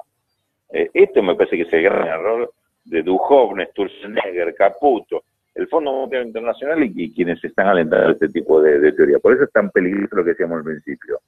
Nos van a llevar a una dolarización por este camino. Debería ser que se va a llegar un momento van a decir, bueno, es la única alternativa. Eh, por errores o porque lo pretenden. Yo creo que acá se juntan las dos cosas.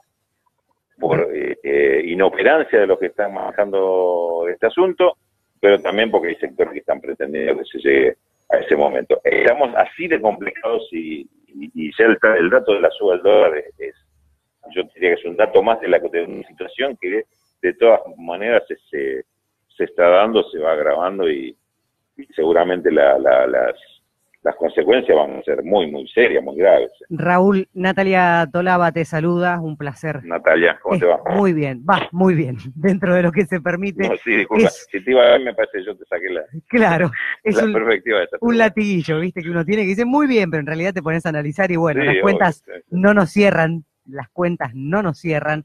Hablábamos al principio del programa que un sueldo hace dos años de 12 lucas era más o menos 1.300 dólares, hoy un sueldo de 14, vamos a suponer que la primera paritaria se cumplió legalmente, el resto no se cumplió, hoy esa, esa, esos dólares se transformaron en simplemente 450 dólares, más o menos algo así. Vos recién hablabas yo sé que esto va a terminar muy mal, sobre todo para los que menos tienen, como siempre. Y vos hablabas recién Sí. de convertir, o sea, esto que hoy está pasando, que a mí poco saber, para mí saben muy bien lo que están haciendo y es por lo que vinieron a hacer, eh, est- esto fue lo que vinieron a hacer al país, no venir a gobernar para los que menos tienen. ¿Vos crees que hay algo que se pueda hacer para poder revertir todo este desastre? ¿Hay una política económica que pueda llegar a venir alguien que quiera, ¿no? Para, para desarmar todo esto o estamos más perdidos que nunca? No, sí, seguro que hay política para salir de todo esto, para empezar a resolver, no para resolver todo de, un momento para el otro, pero, pero sí para solucionarlo y, y darte una perspectiva de, de- de salida y de recuperación. Lo que pasa que, por esto mismo que eh, recién hablaba con Ezequiel, todo esto, va, mejor dicho, ante la pregunta, Ezequiel, estamos hablando Sí. de esto, pero digo, estamos en una perspectiva que la cosa se va agravando cada vez más.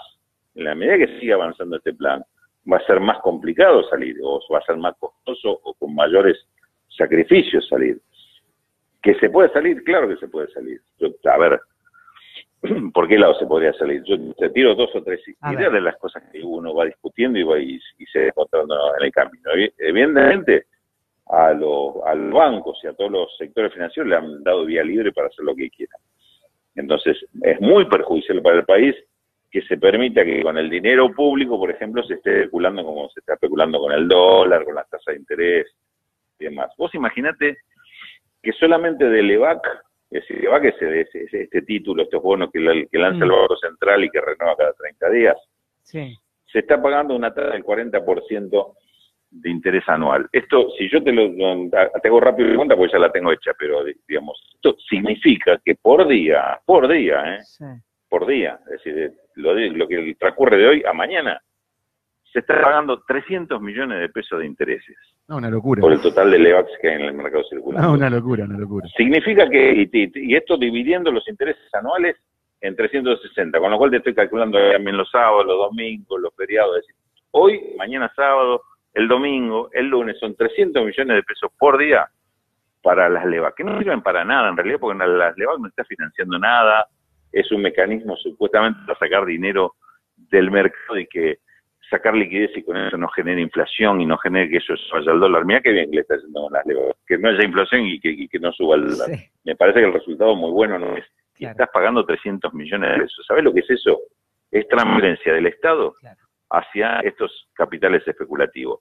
¿Tiene sentido hacer esto? Con 300 millones de pesos, no se te ocurre que por día te podemos hacer unas cuantas cosas. Por día, repito. Sí, sí, claro. Fíjate, vos, entonces, regular eso, por un lado, regular todo el, el- manejo financiero.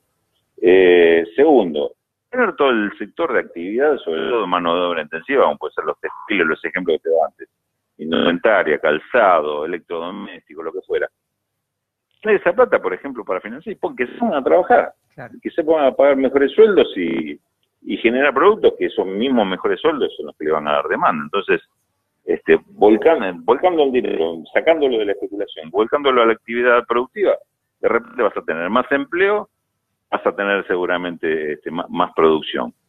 Y te estoy nombrando dos o tres medidas que son simplemente para decir, a ver dónde pongo la prioridad y de dónde saco los recursos que hoy se me están haciendo por este otro lado. Claro. Este, me parece que ese tipo de cosas van absolutamente en contra de los mecanismos o de la orientación que tiene esta política. Por eso digo, más allá de lo que vos decís, que yo no lo discuto, eso de que vinieron a hacer negocios, vinieron a, a- a enriquecerse ellos y sus amigos y al, y al sector que, que quieren favorecer, no les interesan los pobres, perfecto, todo eso es cierto. Pero además, y para mí lo importante discutir, es que hay una política que provoca estas consecuencias sociales. Entonces, por empezar, hay que cambiar la política. Claro. Porque no sea cosa que digamos que cambiando a estos personajes por otros más eficientes, más inteligentes o más capaces, pero con la misma política, eso nos puede salvar. No nos va a salvar.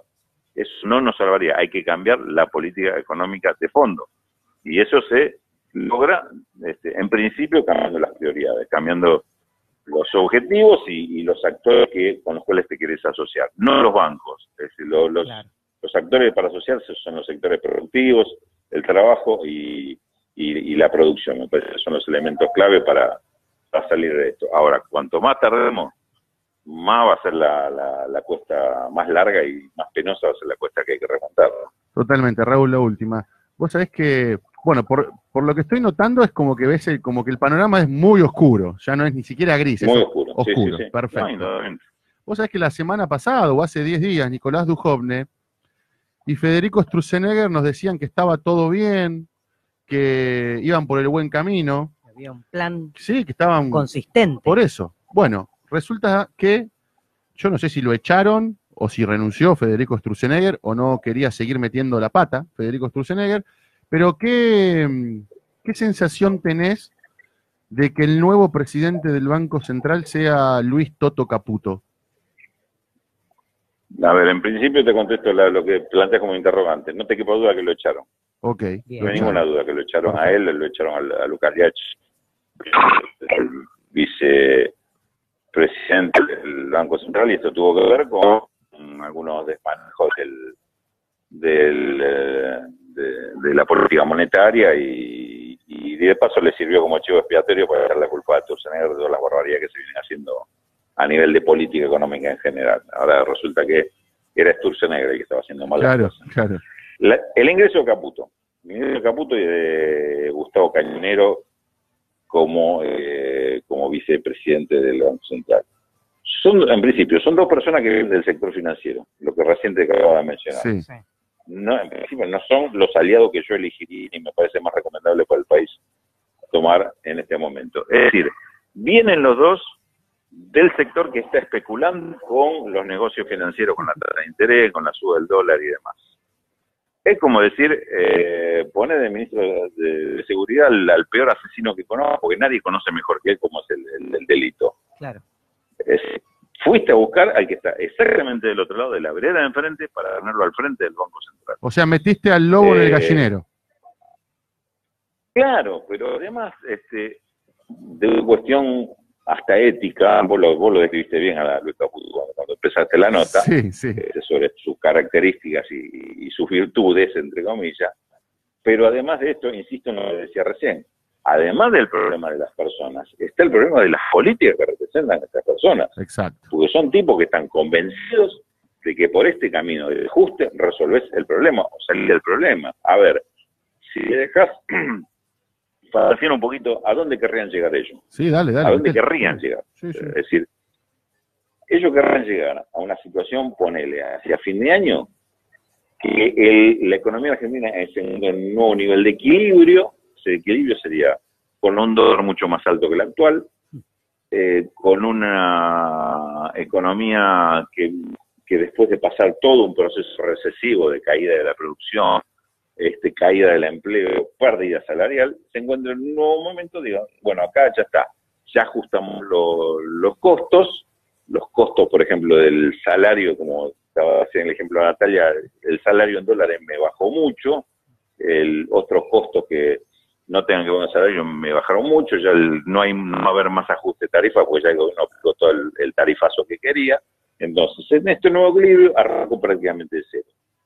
El cero para ellos es un 15% de desocupación, un dólar a 40, qué sé yo, ese tipo de cosas que decís, de ahí arranco. Bueno, esto es lo que querrían ellos, hacerte pagar a la población un ajuste tremendo para encontrar un nuevo, un nuevo punto de equilibrio. Lo que yo te diría, desde mi concepción, es que ese equilibrio no se logra, no se logra nunca. Llegás a ese momento y seguramente todavía va a haber la, la tensión por los dos, por la suba del dólar, va a haber una inflación que no se detiene de un momento para el otro, va a haber un, un nivel de desocupación que como los capitales van a, seguir rajando, vas a tener cada vez más desocupación. Es decir, no hay equilibrio, sino que hay una tendencia a que la cosa siga agravándose. Es decir, después de hacer todo ese sacrificio, que si para ellos el plan fuera exitoso, lo harían, no llegas a un punto de salida de la crisis siquiera. Es decir, es malo el plan en el sentido de las consecuencias que provoca, porque es absolutamente injusto y desigual, pero además es malo porque no resuelve el problema. ¿Te das Claro, cuenta? claro, claro, sí, sí, sí. Entonces,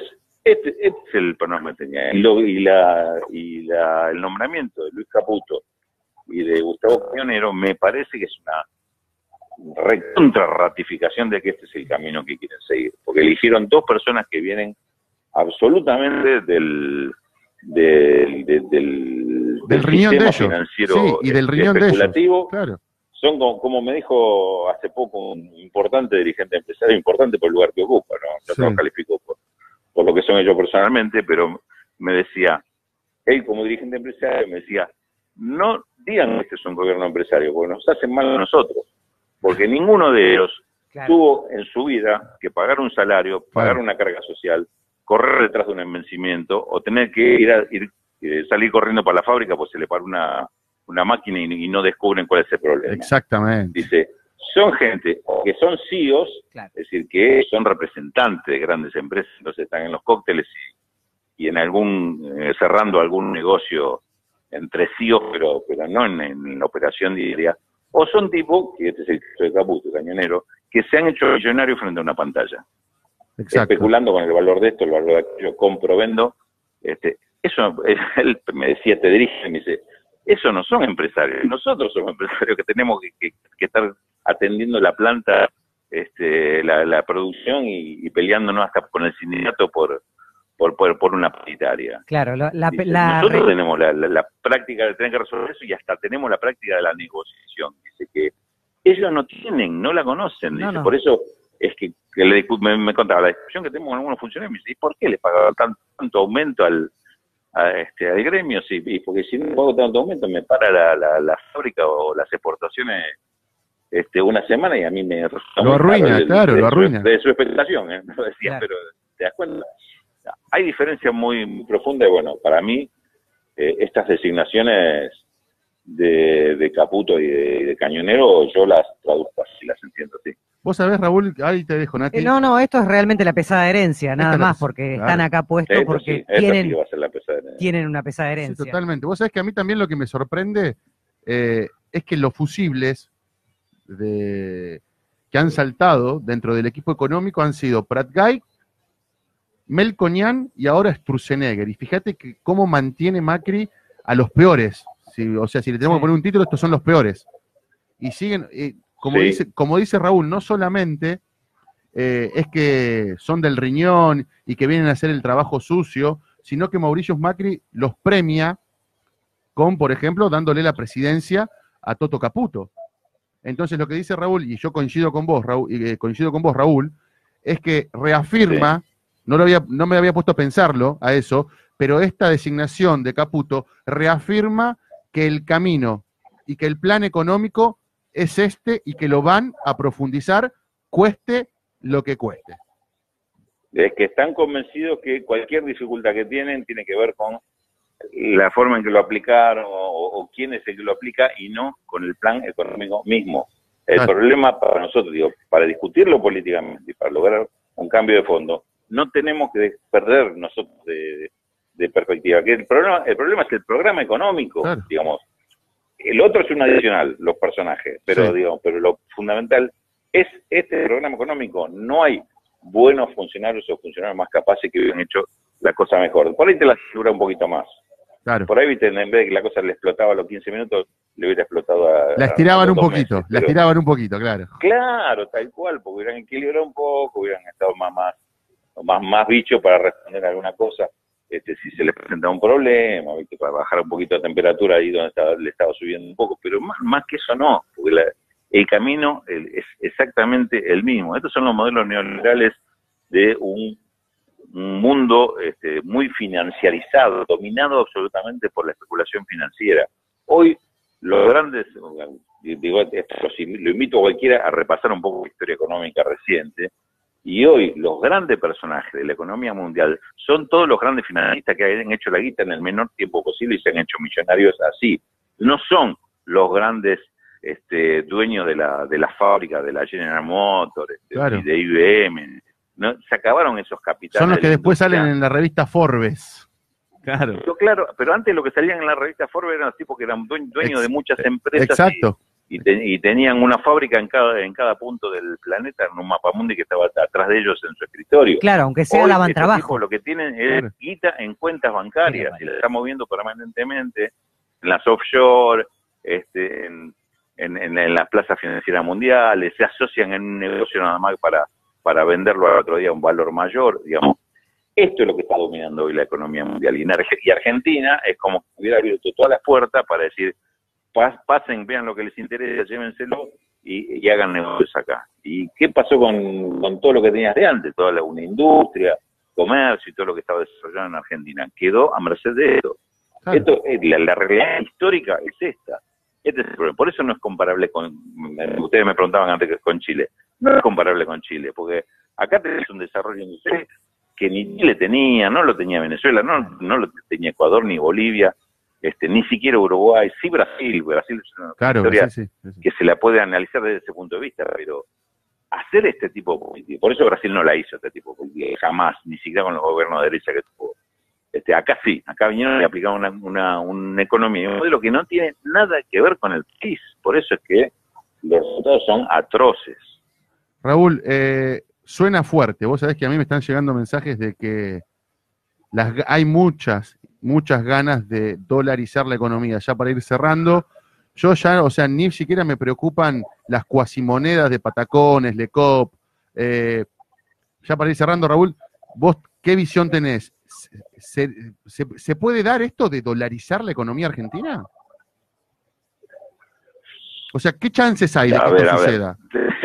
Se- se- yo creo que pueden llegar a intentarlo. Lo pueden intentar. Eh, yo sea, creo que en la medida que vayamos generando conciencia de lo que significa esto, eh, creo que se va a poder evitar y que se va a poder Bien. resistir. Bien.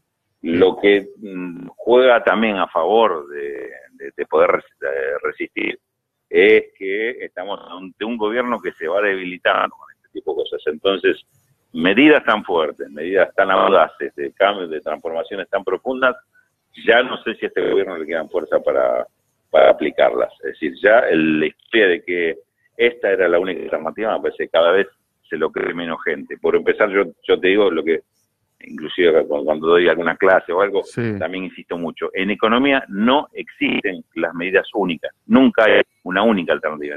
En, economía, quizás en otras materias ocurre lo mismo, pero yo, yo hablo de la, que, de la que yo conozco y estudié.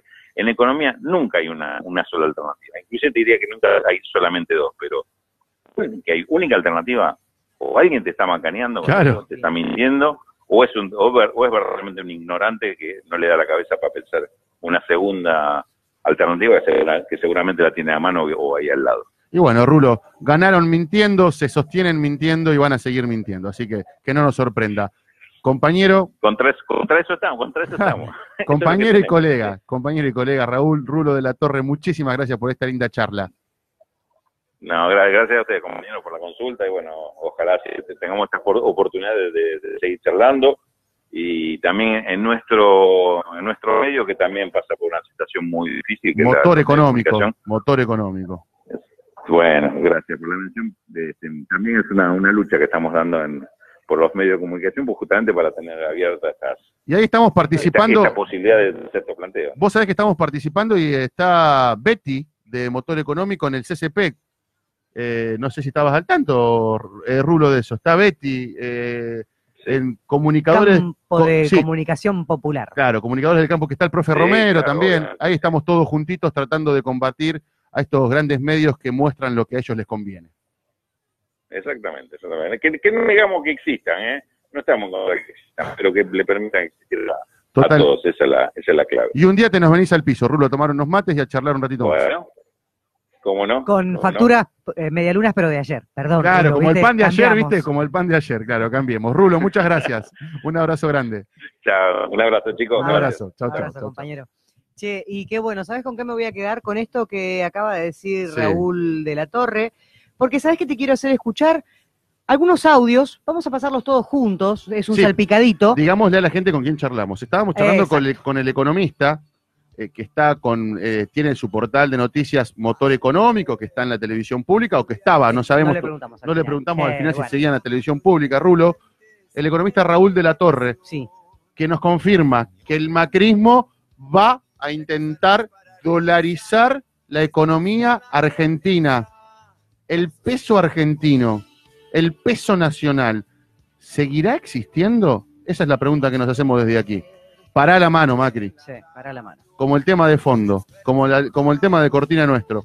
Pará la mano, viejo. Dale, Nati, ¿cómo es el tema de los audios? Eh, quédate con lo último que acababa de decir eh, Raúl de la Torre, porque justo me iba a dar el pie para pasar un audio, pero iba a ser medio enquilombado. Y te voy a pasar un audio que fue hace muy poquitito que estuvo dando cátedras Duhovne al lado de Sturzenegger. Y justamente él hacía Nico, hincapié- pará, Nico. Nico, Nico. Nico- Toto, che, Nico, che, Toto, Fede. Nico Toto. Qué hijos de... Sí, eso mismo. De Pip, eh, porque justamente ellos dos hablaban de una única salida. Y lo acabamos de escuchar a Rulo que decía es mentira. Que hay múltiples. que hay múltiples salidas. En Solamente economía. tenés que tener ganas de, de imponerlas. Claro. Pero vamos a escuchar lo que decía Duhovne Dale. hace unos días nada más. A ver.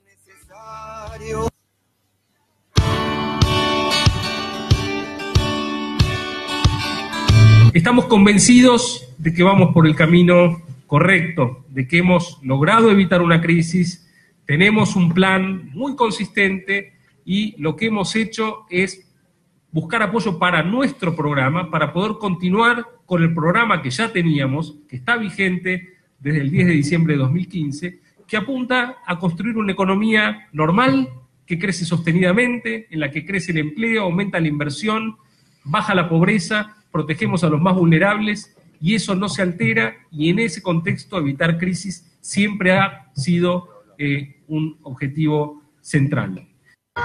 FM Mundo Sur.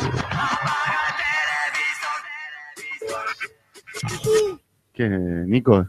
Sostenido, el, Nah, claro, Qué caraduras, eh. son caraduras. Pero Pero ¿y por qué la gente les creen a ti? Porque vos ves a alguien de traje y corbatita y en la mentalidad del colonizado está que le tenés que creer. Ah, Que el claro. que te va a robar es alguien como vos, con barbita, claro, gordita, gorrita, morochón, claro, Entonces va estos tipos con, con ojitos claritos. Bueno, Todo entra por los ojos, Tolaba. todo, exactamente. Pero ahora te está entrando, Ahora nos está por el entrando por otro lado. nos y está otro entrando, lado- eh. Va, y por va. otro lado más. Dale. Pero no termina ahí, porque después de que la economía está en crecimiento y vemos el, por los pobres y toda la zaraza, Sí. escuchá cómo continuaba Duhovne. Dale. Estamos convencidos de que la Argentina va a seguir creciendo este año, el año próximo, y que este programa que se orienta a que, persistiendo en el tiempo, la Argentina vuelva a ser un país desarrollado, va a seguir eh, su curso. Ah, ah, eh, eh, yo, este, no sé qué. Qué, qué- qué- qué Claro, miserable. Y cuando tenés que repetir algo que te dijeron que digas y no es tu convicción, no podés. En cambio, si te llevan al Rotary Club, donde te sentís como uno, ahí Como- sí, largás como todo. Mariú. Como Mariú, donde se relajó y largó todo lo demás. Pero ahora vamos a ver por qué Duhovne le pasó a su compañero coequiper, ex coequiper, porque ya lo volaron de un patacón. No me digas que lo tenemos a de un Fede. patacón. Lo tenemos a Lo Fede. tenemos a Fede y escucha, presta atención a, lo, a la zaraza que A decía ver, también. Federico Sturzenegger, dale. Creo que no es necesario explicarles a los argentinos por qué es importante bajar la inflación. Probablemente haya pocas cosas en la política económica que al mismo tiempo permitan eh, bajar la pobreza y estimular el crecimiento como la baja de la inflación. Con lo cual es muy, eh, es un- es muy bueno para mí poder compartir una serie de políticas que consensuamos que justamente van a facilitar la tarea del Banco Central en la tarea de reducir la inflación al tiempo que van a aumentar la independencia del Banco Central eh, al tiempo. Una se refirió al ministro de Hacienda, que es el envío de un proyecto de carta orgánica al Congreso de la Nación, que va a reforzar la autonomía del Banco Central, le va a dar la potestad al Banco Central para fijar las metas de inflación, va a prohibir el financiamiento del Banco Central al Tesoro, va a dar más estabilidad a sus funcionarios, todos aspectos que son relativamente normales en los países que han sido exitosos en eh, reducir eh, el flagelo de la inflación. Bueno, Ajá, ahí lo tenías. este era hasta hace menos de 24, Menos de 24 horas. menos de 24 horas Sí. el presidente del Banco Central, Federico Sturzenegger, que nos decía este audio desde hace menos, menos de una semana. ¿Y O cuánto 10 fue? días, no, 10 días, ponele. 10 días, 12 días como mucho, digamos, que va a lograr esa, ese arraigo en los funcionarios, claro, en los funcionarios de ellos, ¿no? Esa estabilidad solamente la logran ellos. Pero tenemos una última perlita que les recuerdo que este anuncio fue, duró solamente nueve minutos, acá creo que vamos a escuchar tres minutos con todos los audios, y no dijeron absolutamente Nada, todo nada, zaraza. nada. Escuchá Escuchemos el audio y yo después te voy a tirar una información de último momento, dale. que esa carta orgánica de alguna manera eh, impondría o establecería, eh, podemos avanzar a recorrer ese camino ya, ya hoy. Y uno lo dijo el ministro, que es que a partir de este momento el Banco Central dejará de transferir recursos al Tesoro, y esto es una cosa relativamente histórica para Argentina. Los argentinos hemos convivido durante 70 años con inflación y hemos convivido con un Banco Central que transfería recursos para financiar esos déficits. ¿Sabes cuáles son esos déficits? no? Podría, sería. Sí, impondría. Se, dieron, se dio cuenta, impondría fue la palabra y, y como que se retractó. Impondría no. Bueno, viste, tienen esa cosita con el léxico que por ahí es también por donde entra la gente, porque a la gente le gusta las palabras bonitas, las palabras de autoayuda totalmente vacías. Totalmente vacías. ¿Sabés cuál es la...? Yo coincido con vos, pero a mí lo que me apena es que la gente todavía le siga creyendo. Vos sabés que Federico Sturzenegger va a tener problemas y graves problemas. No hay que dejarlo yo- salir, ¿eh? Por eso. Que yo- no salga del país. Yo acá quiero ser contundente, clarito como vengo siendo siempre. Cuando yo digo, acá me quiero poner intenso un poco, cuando yo digo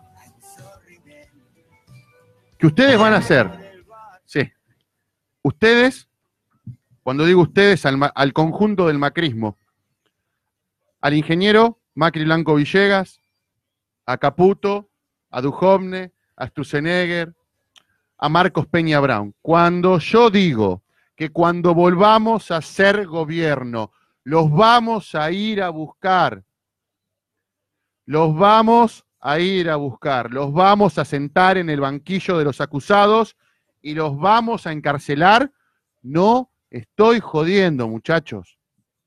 Así que sigan haciendo de las suyas. Lleven el dólar a 30, llévenlo a 40, llévenlo a 50, llévenlo a donde ustedes quieran el dólar. ¿Quieren dolarizar la economía argentina? Dolarícenla. ¿Quieren hacer desaparecer la moneda nacional? Háganla desaparecer, pero ¿saben qué? Ustedes van a terminar todos y todas presos tras las rejas, lugar donde hace rato ustedes tendrían que haber estado. Primero, por lo miserable y por los corruptos que fueron cuando fueron CEOs de sus empresas. Y segundo, por lo que están haciendo ahora. Y japutés tras hijaputés. Miserables desde el ángulo que se los mire. Y como yo te decía el lunes, nos, nos vamos a olvidar. El lunes te lo decía, no nos vamos a olvidar, muchachos. No, ¿sabes que no? Y por ejemplo, Federico Sturzenegger, ya el lunes, o sea, hoy es viernes, sábado, domingo, el lunes, el diputado Rodolfo Tailade lo va a denunciar penalmente y le va a exigir a la justicia que le prohíba salir del país. Muy bien. Y que ya comiencen, ¿eh? Y ya eh, que Federico Sturzenegger sea ejemplo, ¿eh? Porque todos van a seguir, todos van a seguir el mismo camino que Federico Sturzenegger. Gracias, Rodolfo Tailade, nos representás. Ahí tenemos a, te- tenemos a alguien en línea. Dame un segundito nada más que me acaba de mandar un mensaje eh, el prensa de Cristina Fernández de Kirchner. Buenas tardes, Ezequiel, te envío proyecto de ley presentado por la diputada del Frente para la Victoria, PJ, Luana Volnovich, que busca proteger los fondos que componen el Fondo de Garantía de Sostenibilidad del ANSES ante los trascendidos de que el gobierno podría disponer su venta por pedido del Fondo Monetario Internacional. Bravo, diputada Luana Volnovich. Bravo. Muy bien por todo el bloque del Frente Victoria. Muy Totalmente. bien. Se quieren llevar puesto el fondo de sustentabilidad de nuestros viejos. de nuestros viejos es eso. Son unos hijos de puta, Sin Nati. duda, sin duda que son. Perdón que me mandé una, pero bueno. Usted está así afilado, pero creo que tenemos un oyente. ¿Tenemos un oyente? que ¿Cómo se llama el oyente? eh? Está bastante afilado y quiere comentar lo que está pasando con su situación. Juan de Castelar. Juan de Castelar. Juan de Sur. Castelar Sur. Juan, buenas tardes, estás al aire, ¿cómo andás? Ezequiel te saluda, Natalia Tolava. Juan, ¿estás por ahí? Juan. Hola, Juan. ¿Cortó Juan? Se asustó, me escuchó así vehemente y se asustó y cortó. Dijo, este loco está peor que yo. Juan. Hola. Juan, Está con el volumen. ¿está ahí? ¿Nos estás escuchando, Juan? Yo como que lo escucho ahí, pero... Juan. Juan, ¿no estás ahí? Bueno, lo- Bueno. volver a llamar nuevamente. Una de. Para que algo... Ay. ¿Qué pasó, Carlitos? A ver. Ah, no está, no Bueno, está, no está. Juan, Juan, escucha, pero lo que alcancé a rescatar de Juan es que me dijo Sí. que, bueno, quería contar un poco su situación, eh, cómo ve las perspectivas de, este, de cómo va el país, y también nos preguntó cuándo vamos a estar en Castelar Sur. Así que le tiro esa pregunta por si no se puede comunicar, porque vio que el tiempo es tirano, faltan 10 minutos, así que responda usted, Ezequiel Guasora, si vamos a andar por Castelar Sur. vamos a andar por... Eh, sí, la verdad, vamos a andar por Castelar Sur y Tuzaingó, vamos a andar por Moreno, vamos a andar... Vamos a andar pidiendo por moneditas por algún lugar de eso. Claro. Búsquenlo en los Colaboren, los vamos, claro, vamos con el busito, somos de quien quiera oír. Usamos la gorrita. la Claro, me saco la, me saco la gorrita histórica Che, y juntamos moneditas. Claro, porque es- esto es así, Nati. Qué mal que estamos pasando. Bueno, que vamos. tenemos el humor, ¿eh? En realidad, claro. En realidad nos faltan caminar tantas ciudades del conurbano. Tantas. También nos están reclamando de Temperley, de Adrogué, nos están reclamando de Almirante Brown, nos están reclamando. ¿De dónde más? Ahí pasando Avellaneda, que ahora no me sale la localidad. La gente está desesperada porque vayamos Sí. porque realmente hay Se una quieren expresar. desinformación. Y se quieren expresar. Nati, se quieren expresar, se Sí. quieren expresar. Bueno, como Juan. Juan, una lástima que se haya cortado la comunicación. Los que quieran llamar al teléfono de la radio, ¿lo dimos? ¿Cómo era, Eh. Carlitos? El teléfono de la radio, creo que lo teníamos anotado ahí, Nati. Sí. 43 42 04 20. Ahí Va está, de nuevo. ¿eh? Ahí está Juan. que está parece, Juan. ¿eh? A ver. Sí, sí, 43 42 04 20. Es el teléfono de la radio. Tenemos. ¿Ya lo tenemos en línea? Juan de Castelar Sur. Ezequiel te saluda. ¿Cómo andás, Juan? Natalia Tolava. Estás al aire, Juan. ¿Cómo andás? Ariel, hola Ezequiel, ¿cómo te va? ¿Cómo andás, Juancito? ¿Todo bien? Bien, mal, mal porque estoy sin trabajo. Oh. Eh, che. Hace dos años estoy sin trabajo y no consigo nada. ¿Y a qué te dedicas, Juan? Contanos. Eh, soy chofer de colectivo. Chofer de colectivo y hace dos años que te quedaste sin laburo. Estaba en Ecotran, ¿viste? Sí. Y Ajá. bueno, compraron, la, se fundió, compraron una empre- otra empresa, Sí. a nosotros tuvieron un tiempito y nos empezaron a echar a todos.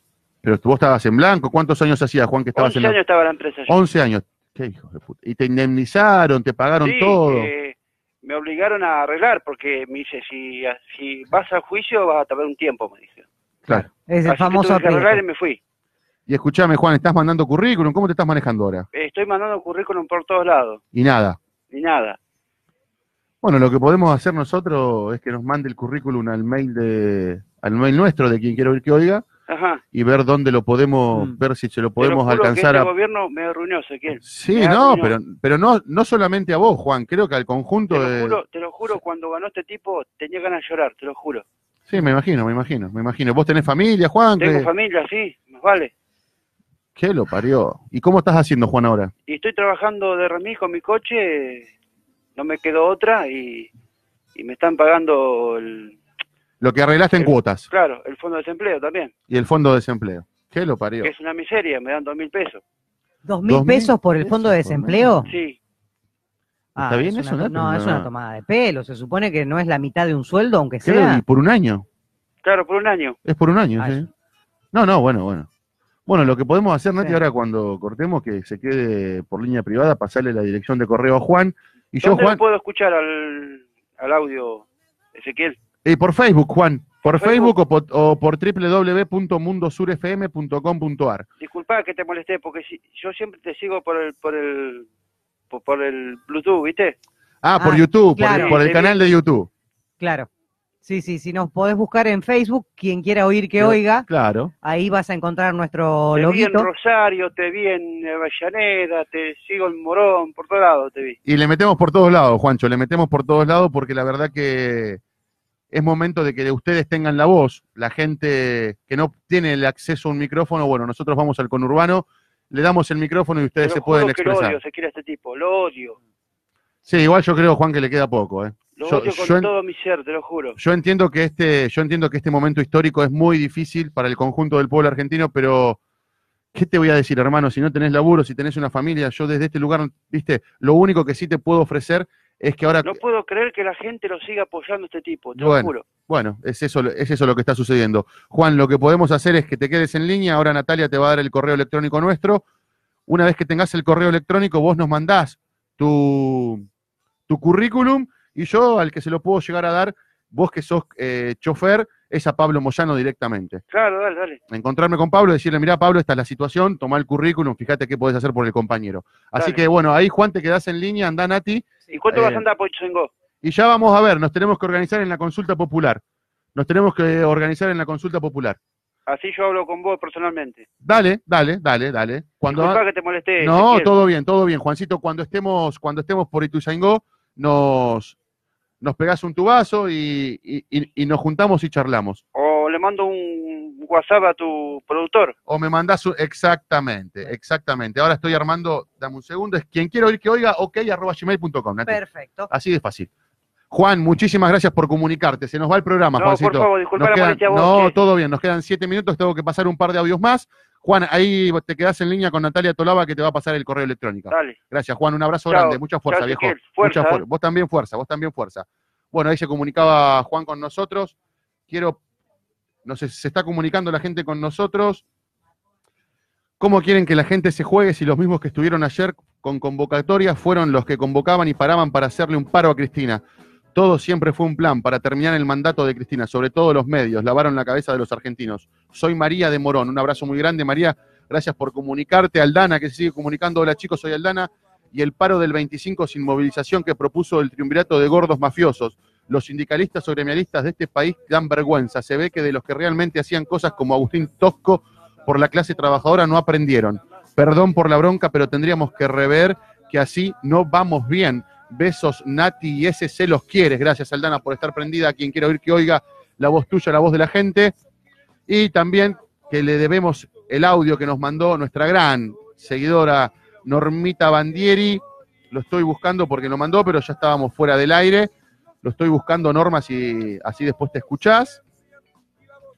Qué, qué tristeza, pero bueno, algo, algo vamos a poder hacer entre todos, gente. Sí, sí, a- bu- bu- hay que buscar la manera. Los que estén en esta situación, Que esté escuchando, que diga, che, ¿sabés, do- sa- eh, ¿sabés cómo encontrás el, fei- eh, el correo electrónico? Lo encontrás desde la fanpage de Facebook, que celebro que acabamos de pasar eh, y llegamos y superamos los 34 mil seguidores y hace instante nada más superamos también los 27 mil me gusta, estamos en 28 mil me gusta de la página que día a día crece. Gracias a todos y a todas por estar del otro lado. Norma Bandieri mandó un audio, bajame un poquito la cortina, Carlos, que voy a hacer escuchar a Normita, que lo mandó tarde, el día lunes, y que se lo debemos a Norma, que es una gran y férrea seguidora de quien quiero oír que oiga. Para que le subo el volumen. Hola compañeros, les está hablando Norma Bandieri. Bueno, quería decirles que el jueves vayamos todos unidos con las 12 GT, con los movimientos eh, con los movimientos organizadores, pero vamos todos unidos, no juntos como quiere Machirulo, porque nosotros vamos unidos, la unión hace la fuerza. Les mando un beso grande, los quiero muchísimo y los sigo siempre que puedo. Felicitaciones.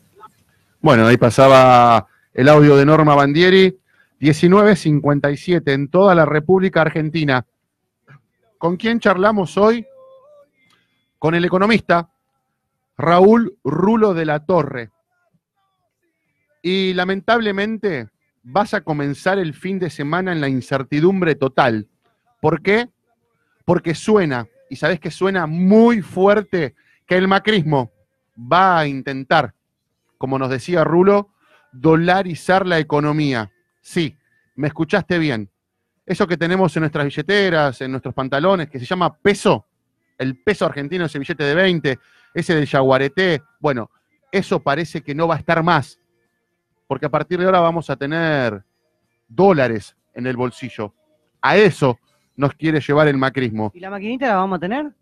La maquinita la van a tener ellos. Ah. La maquinita siempre, Natalia Tolaba, la van a tener ellos. Ufa, qué lástima. Chicos, disculpen por estas tristes noticias, teníamos muchas más, pero la vorágine del programa fue llevándonos a que se dio así, de esta manera. Natalia Tolaba me acompañó hoy, gracias Nati. Un placer, compañero. Ernesto Tano Dinucci, que no pudo llegar en el día de hoy, ¿quién te habla?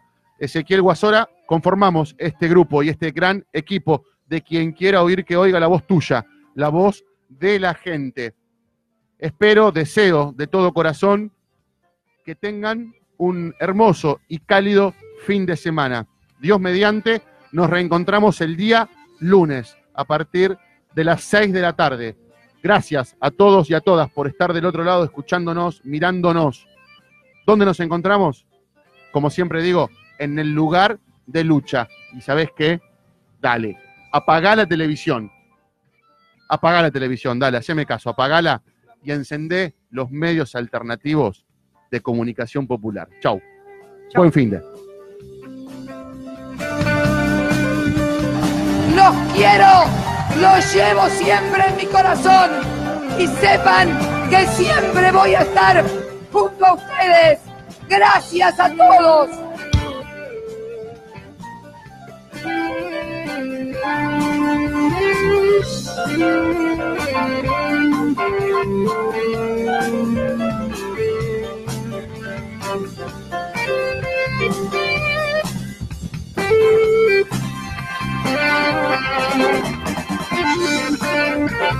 Thank you.